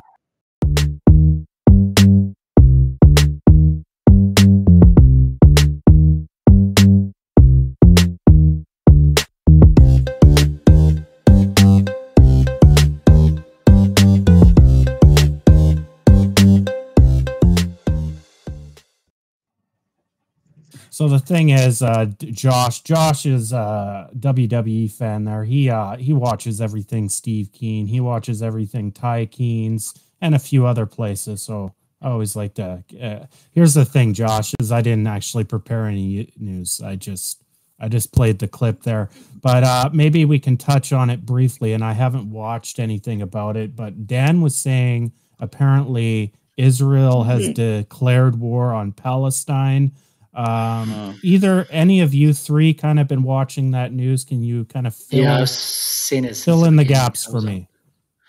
Well, there was, um, yeah, just a large, uh, an unprecedentedly large uh, attack from Gaza into Israel. That's you know on a scale that hasn't been seen before. So it's going to get r- really messy. Um, it's on such a scale that you know people are thinking Iran and Russia might be involved, and you know it would obviously serve Russia's any kind of chaos right now would serve Russia. I don't know. I don't want to take any kind of sides in this kind of thing, but it's definitely a, yeah. a big deal. It's on the anniversary I, of the uh, war. Which one? The which the Yom Kippur War, or yeah, yeah. Oh wow! I hadn't even realised that. So actually, okay. So October seven, nineteen seventy two. Three, yeah. Was the seventy three? So we're talking yeah. fifty years ago. Yeah, it's a fifty. Actually, oh shit, a brick. So they chose the date to commemorate the fiftieth anniversary of Yom Kippur. Yeah. Holy fuck! I hadn't even that hadn't occurred to me. My God. Okay. Yeah, and it's just so, the, the degree of organization and all to it. It's nothing like we've, we've seen in oh, decades. Oh, so wow. it's not going to be good. I, I, I have not watched the news. Right, I kind of I stayed up late blogging to, to to post a blog last night. Went to bed around two, then got up around seven this morning and got ready for the. I haven't heard seen anything about it, so I'll have to check this out after the show. Oh boy! Yeah, I just I mean, saw that, the headline. I mean, what worries me is that I mean, Israel's military, uh, even even though they've clearly their intelligence completely failed them on this front the fact that it's the 50th anniversary, that is incredible. That you, you think if anybody was clever inside the intelligence, they would have thought of the possibility of some, you know, maybe they'll do something on this day, maybe we should check. So they're completely caught by surprise. 5,000 missiles uh, being bombed into Israel, incursions by Hamas activists. Um, what worries me is that has anybody here been to Israel or the West Bank or the Gaza? No. I've been to well, I, I've been to I've been to two of the three, and I've been five meters, 15 meters, or 15, maybe I don't know, a certain distance from Gaza. So I've been to the West Bank, I've been to Israel, and I've seen where the Gaza is, and it's terrifying. The, the Israeli military, if the Israeli military decide to put the full force of their weaponry against Gaza, they'll level it. and you know, the well, entire population you know, it's a possibility of other actors getting involved, Hezbollah. Yeah, yeah, you know, yeah. It's it can get really messy, and obviously, you know, if Russia is involved, uh, I don't know. Like, it seems to me that the chaos would, you know, serve. You know, and you have what just happened in Nagorno Karabakh in uh, Armenia, uh, yeah, Azerbaijan. But this is this is this is clearly something coming from the Palestinians themselves because the fact that nobody knew about it until it happened. Oh yeah, of course, yeah, yeah. At the at level of secrecy, and and the fact that 50th anniversary. I mean, that is incredible. So to me, what I'm I'm not so much worried about Russia because Russia, this attacked Russia by surprise, just like it took the Israelis by surprise. I, the Americans obviously didn't know about it. So oh yeah, yeah. I'm just talking about the uh, the potential for just yeah. You know, I, I think the main the main thing is most likely uh, which uh, Arab countries decide to put an oil embargo on. That's that would be what I would think would be the first fallout for the rest of the rest of the world economy on uh, on this impact, and um, and and like I, there's no way I guess can't I can't imagine them defeating Israel. That is just uh, you know I, I, the military maybe not isn't what it was say you know 30 40 years ago, but it's still probably the third or fourth strongest military on the planet. So I can't see them winning the Palestinians. I can't see them winning this at all. It's a question of what retaliation Israel goes for. And if they've declared war, then, you know, that pretty much means all bets are off. It's yeah, I mean, obviously the most important, you know, immediate concern is the people involved in Gaza and all that. But um, yeah, obviously people are bringing up the Saudi Arabian Israeli kind of thawing lately. You know, that's you know that the, the yeah, Javian's comment there is quite true. I think that's true. Uh, the Arabs have no allegiance to the Palestinians anymore. Um, but they'll lose. They'll, they'll, they'll sort of be shamed into doing something, and that may well be an oil embargo. Uh, certainly, an oil embargo against Israel, um, and maybe against America. So then again, Palestinians, Iran, I think that's quite correct. Um, so we could see Iran perhaps doing something. So, oh God. Yeah, somebody pointed out just just recently. Somebody pointed out just recently that I coined the phrase that the 2020s are the hold my beer decade. Uh, and you know, for Christ's sake, can you stop 2023? We know you're the shittiest year in history. Stop proving it. Bloody hell. Uh, sorry, I just I'll have to do some reading on that tonight. I can't help but think about the limits to growth. Yeah. You know, again, it 50 years it, ago. It, it didn't say, um, you know, what the social struggles would be per se because it was an aggregate model. Um, mm. But I I can't help but think we are seeing the beginning, the very small beginnings of resource constraints and the the civil unrest that's going to cause year after year. Um, I might be wrong, but it's just it comes to mind, you know, thinking about the 2020s, um, you know, and where this world is headed. We, I've, we've got to follow up. You and I've got to have a chat, by the way, about that after the show, Ty, um, because I've seen some arguments that are worth us trying to model about whether we are facing a, a real confluence of resource constraints at the moment. Mm-hmm. Yeah, this, um, I was going to ask you, uh, usually when you discuss MMTR, the banking system, often it's in a national kind of level, but uh, I, I, see a fundamental kind of different dynamic with international aspects of, and it kind of t- it ties into commodities and of course trade, but the monetary system and of course Keynes, Bancor. I mean, where do you think we're headed with anything like that? Oh, Mike, I'm going to let you have a first pass at that one. I'm still getting over the Israel and the 50th anniversary effect.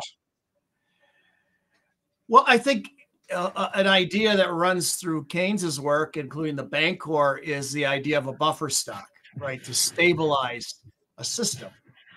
And so, in the international financial system, it seems to me one element that needs to be stabilized with whether it's a Tobin tax or or what have you is the actions of speculators, right?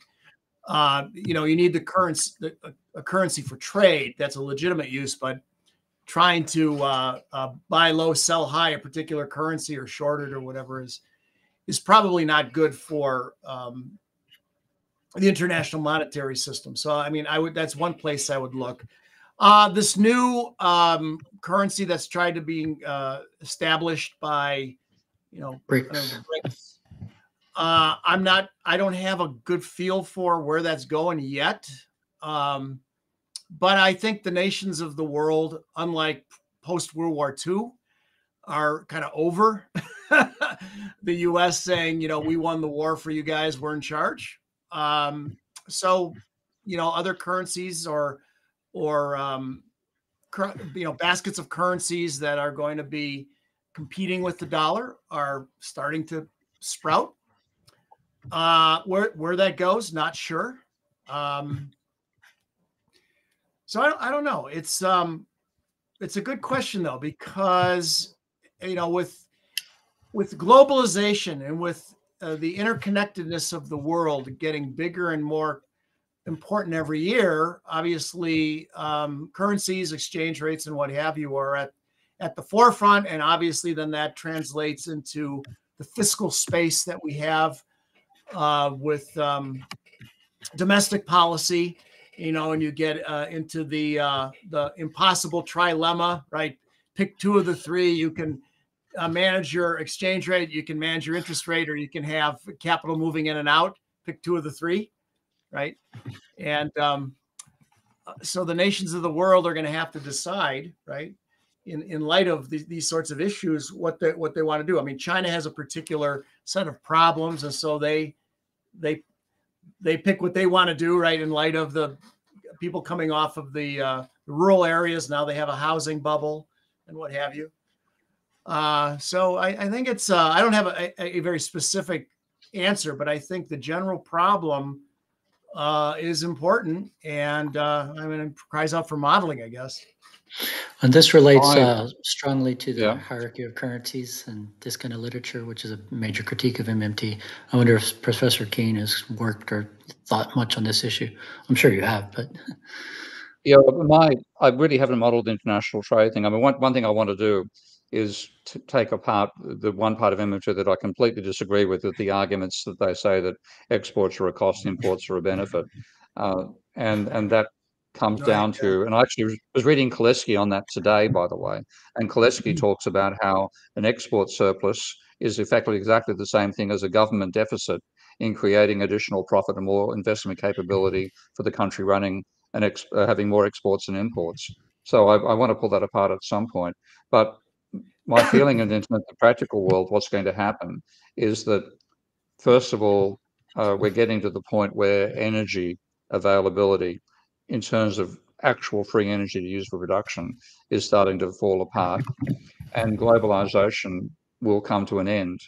Um, with the impact of global warming, at some point, that'll be the end of us using ships, uh, diesel-powered ships, to transfer stuff around the world.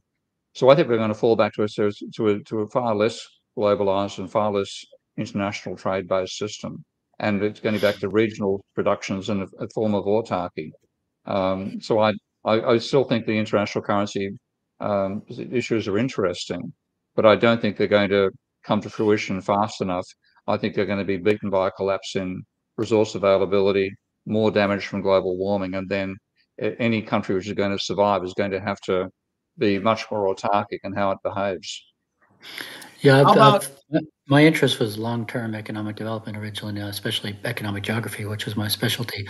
And the the heterodox theory that I think that MMT is missing is I've mentioned it here in the comments. Eric Reinert is especially good. Um, it's basically that MMT is just missing some of the uh, factors. It's not that they're wrong per se on this. It's just there's more to the story, and it has to do with uh, when you look at um, the benefits of trade. A lot of it has to do with tacit knowledge and the ability to produce and all of these kind of things. And uh, they're just missing that. You've got to have some manufacturing in your country to be have the kind of economy you're going to want.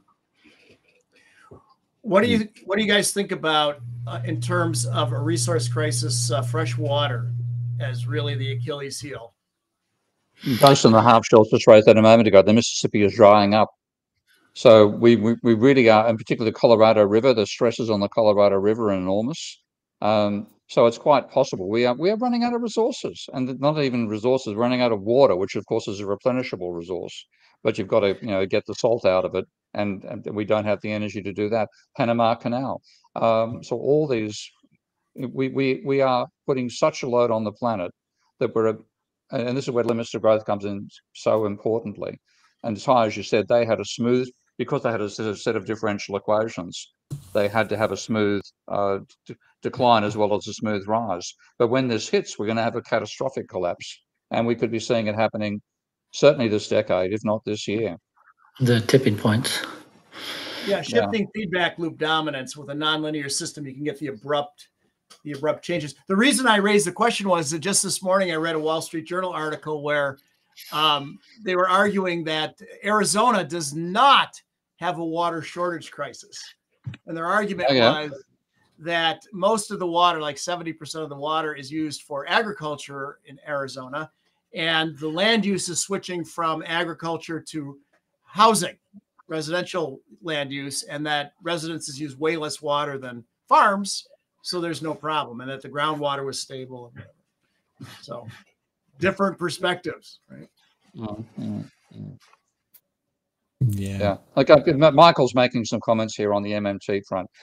I, I find it ignorant because it's it's it's doing everything in terms of a static. You gain this, you lose that, you come out ahead. Uh, what you also see is, of course, you invest. If you have a higher rate of investment coming out of an export surplus, you develop your technologies more effectively. And that's left out of the eye that little quip, the uh, exports are a cost, imports are a benefit, whether you're talking monetary or real. And frankly, remember also when I had that fight with Mosler, he made he he trashed me on this, said the monetary stuff doesn't matter, which I think is a contradiction of the other half of MMT. Uh, you, what you get if you have an export surplus, you reinvest it, you become technologically advanced compared to your importing rivals. And if I had to choose an economy that I wanted to be in, in terms of manufacturing capability now, uh, I'd choose China, not America. Yeah, you want to uh, mercantilism from the beginning. It's the way the English practice it sometimes on yeah, accident. fundamentally mercantilism. You want to correct. export yeah. high tech, I mean, and you want to import commodities. That's the winning yeah, formula. Yeah. You can't and do it the other way That's what China's been doing. Yeah, that's right. China's been doing it successfully. America has been doing it the opposite, and you know, Australia's going to have that too. Yeah, potentially, because it, it's as you said, it's houses and holes. That's all the mystery has going for it. Yeah, it's yeah. just lucky because yeah. it has only 25 million people to, with all the benefits from a great deal of commodities. But yeah, I, I mean, disagree with most on real terms, Michael. Sorry, pardon me talking over you there, Clint. Oh, sorry. sorry. I disagree yeah. with on real terms. Like his, his real analysis is static, and that's wrong. Anyway, sorry, sorry, but sorry, Clint. No, no, no, no I haven't. Yeah, it's it's um I I completely agree with Steve. I look at it a, a dynamic way. Bottom line, if your country in aggregate is exporting something, your firms are earning a profit. Your firms are going to invest a portion of that profit into its capital stock. That's going to boost both output and employment. It is the real benefit to the economy, not stuff you get.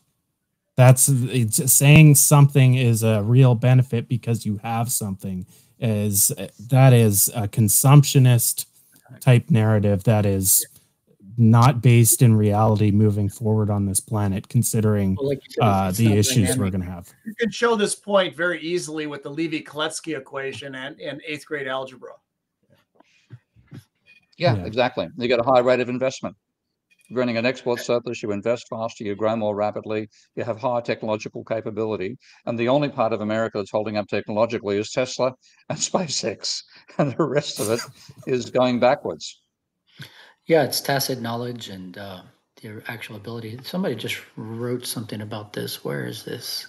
I'm looking on but um, yeah, uh, somebody posted on Twitter. This is good. I think ultimately, what the free trade maximalist of the '90s and 2000s missed is that outsourcing so much manufacturing overseas saved money in the short term, but in the long term, we lost the natural skills development engine environment that is the factory floor. I saw that too, by the way, Clint. Who said that? It was very well put. Uh, a guy named Glenn. Yeah, somebody I didn't know. I reposted it. Uh, yeah. Co-founder. Yeah, just just somebody, but uh, yeah, it's very. I agree. I saw the same thing. thing. I thought it was very well put. Yeah, yeah. Yeah, yeah. We're missing all that kind of middle, high level, non university, just you know, knowledge of how to make things. I mean, country's oh, not going to stay wealthy if they can't do that. Mm. And that's where the education happens on the shop floor. Absolutely. So, yeah. So Clint, we uh we're at the we're at the end of the two hours. My question is, was it comfortable for you to finally get to talk to Steve, or was it a little more uncomfortable this time around? Because for me, for me, when I first uh you know had a conversation with Steve, I my because he's a bit of an intellectual hero for me. I was scared shitless. I still oh, go back to I, I go back to that video and I was stiff, stiff as fuck. Um, I felt this big compared to Steve. Um, and I'm just wondering, did you feel a little bit of that, or were you nice and comfortable through the whole show? Well, I feel bad partly because of the delay. I know I've talked over a little bit something, but uh, no, I'm just great to finally uh, talk to the person who's inspired so many of us. Really, um, the, the early stuff from debt deflation, and then unlearning economics, and these have been just blockbuster intellectual achievements that are real huge inspiration for all of us and have really propelled the field, even Thank if you. the mainstream doesn't realize it yet. We're getting there. So uh, it's just been. I reckon we'll we'll get we'll, we'll convert them after they manage to destroy capitalism, not before. Um, yeah, that's why I was interested in what you're doing now at the the, the current. Yeah. I know you've been dealing with like, the Nordhaus and the climate stuff. Oh, like, God almighty, like, yeah like with great artists, your work is only valued after you're dead. Mm-hmm. If my descendants get some cash out of that, I don't mind. I was actually thinking. I was actually thinking. What? Just that for some reason, Galileo died not knowing that his vision would take over our knowledge of the yeah. universe, because on his tombstone it says, "And yet it moves." Okay, yeah, so yeah, he, you know, so he he did not realize that his contrarian but accurate position would take over humanity after his death. So the poor man went to his grave not knowing the impact he had upon our future development. Yeah. All right, ladies and gentlemen, it's been another great episode. Clint will uh we'll have you back in a few months for sure. You're you're part of the Steve and Friends family forever now. Oh you yeah, hold the record for you hold the record for the most yep. uh, appearances on the show, so we'll we'll keep that going. You're you're that guy now, Clint, the record holder of appearances. And also gonna... the person who's come on the most late, latest time in the day. So congratulations on staying up from 3 a.m. to 5 a.m. Yeah, that's, that's that's yeoman's work. No, no doubt. Well, like I said, I got real confused. You know, I came all the way to Australia to see Steve, and he's not here. so now I'm here you can find his book. Um, let me bring it up. Oh, I put it back down. A Thousand Castaways: The Fundamentals of Economics. Clint, I'm sure you can fi- you can find that on Amazon, right? That's where I get all oh, yeah. books. Yeah, yeah, yeah. I would change a few things now, but I need to do a follow up. I think. Uh, but yeah, the idea behind that was always just to get you know it's written at a level for graduating high schoolers or first year Mm, you know, mm. university just to get their idea of or, or in, in other words, ninety percent of the economists out there with the same yeah. intellectual level. yeah, no, there. Anyways, that's it, guys. For Steve Keen, Mike Radzicki, and Clint Ballinger, we will see you next week. Bye bye.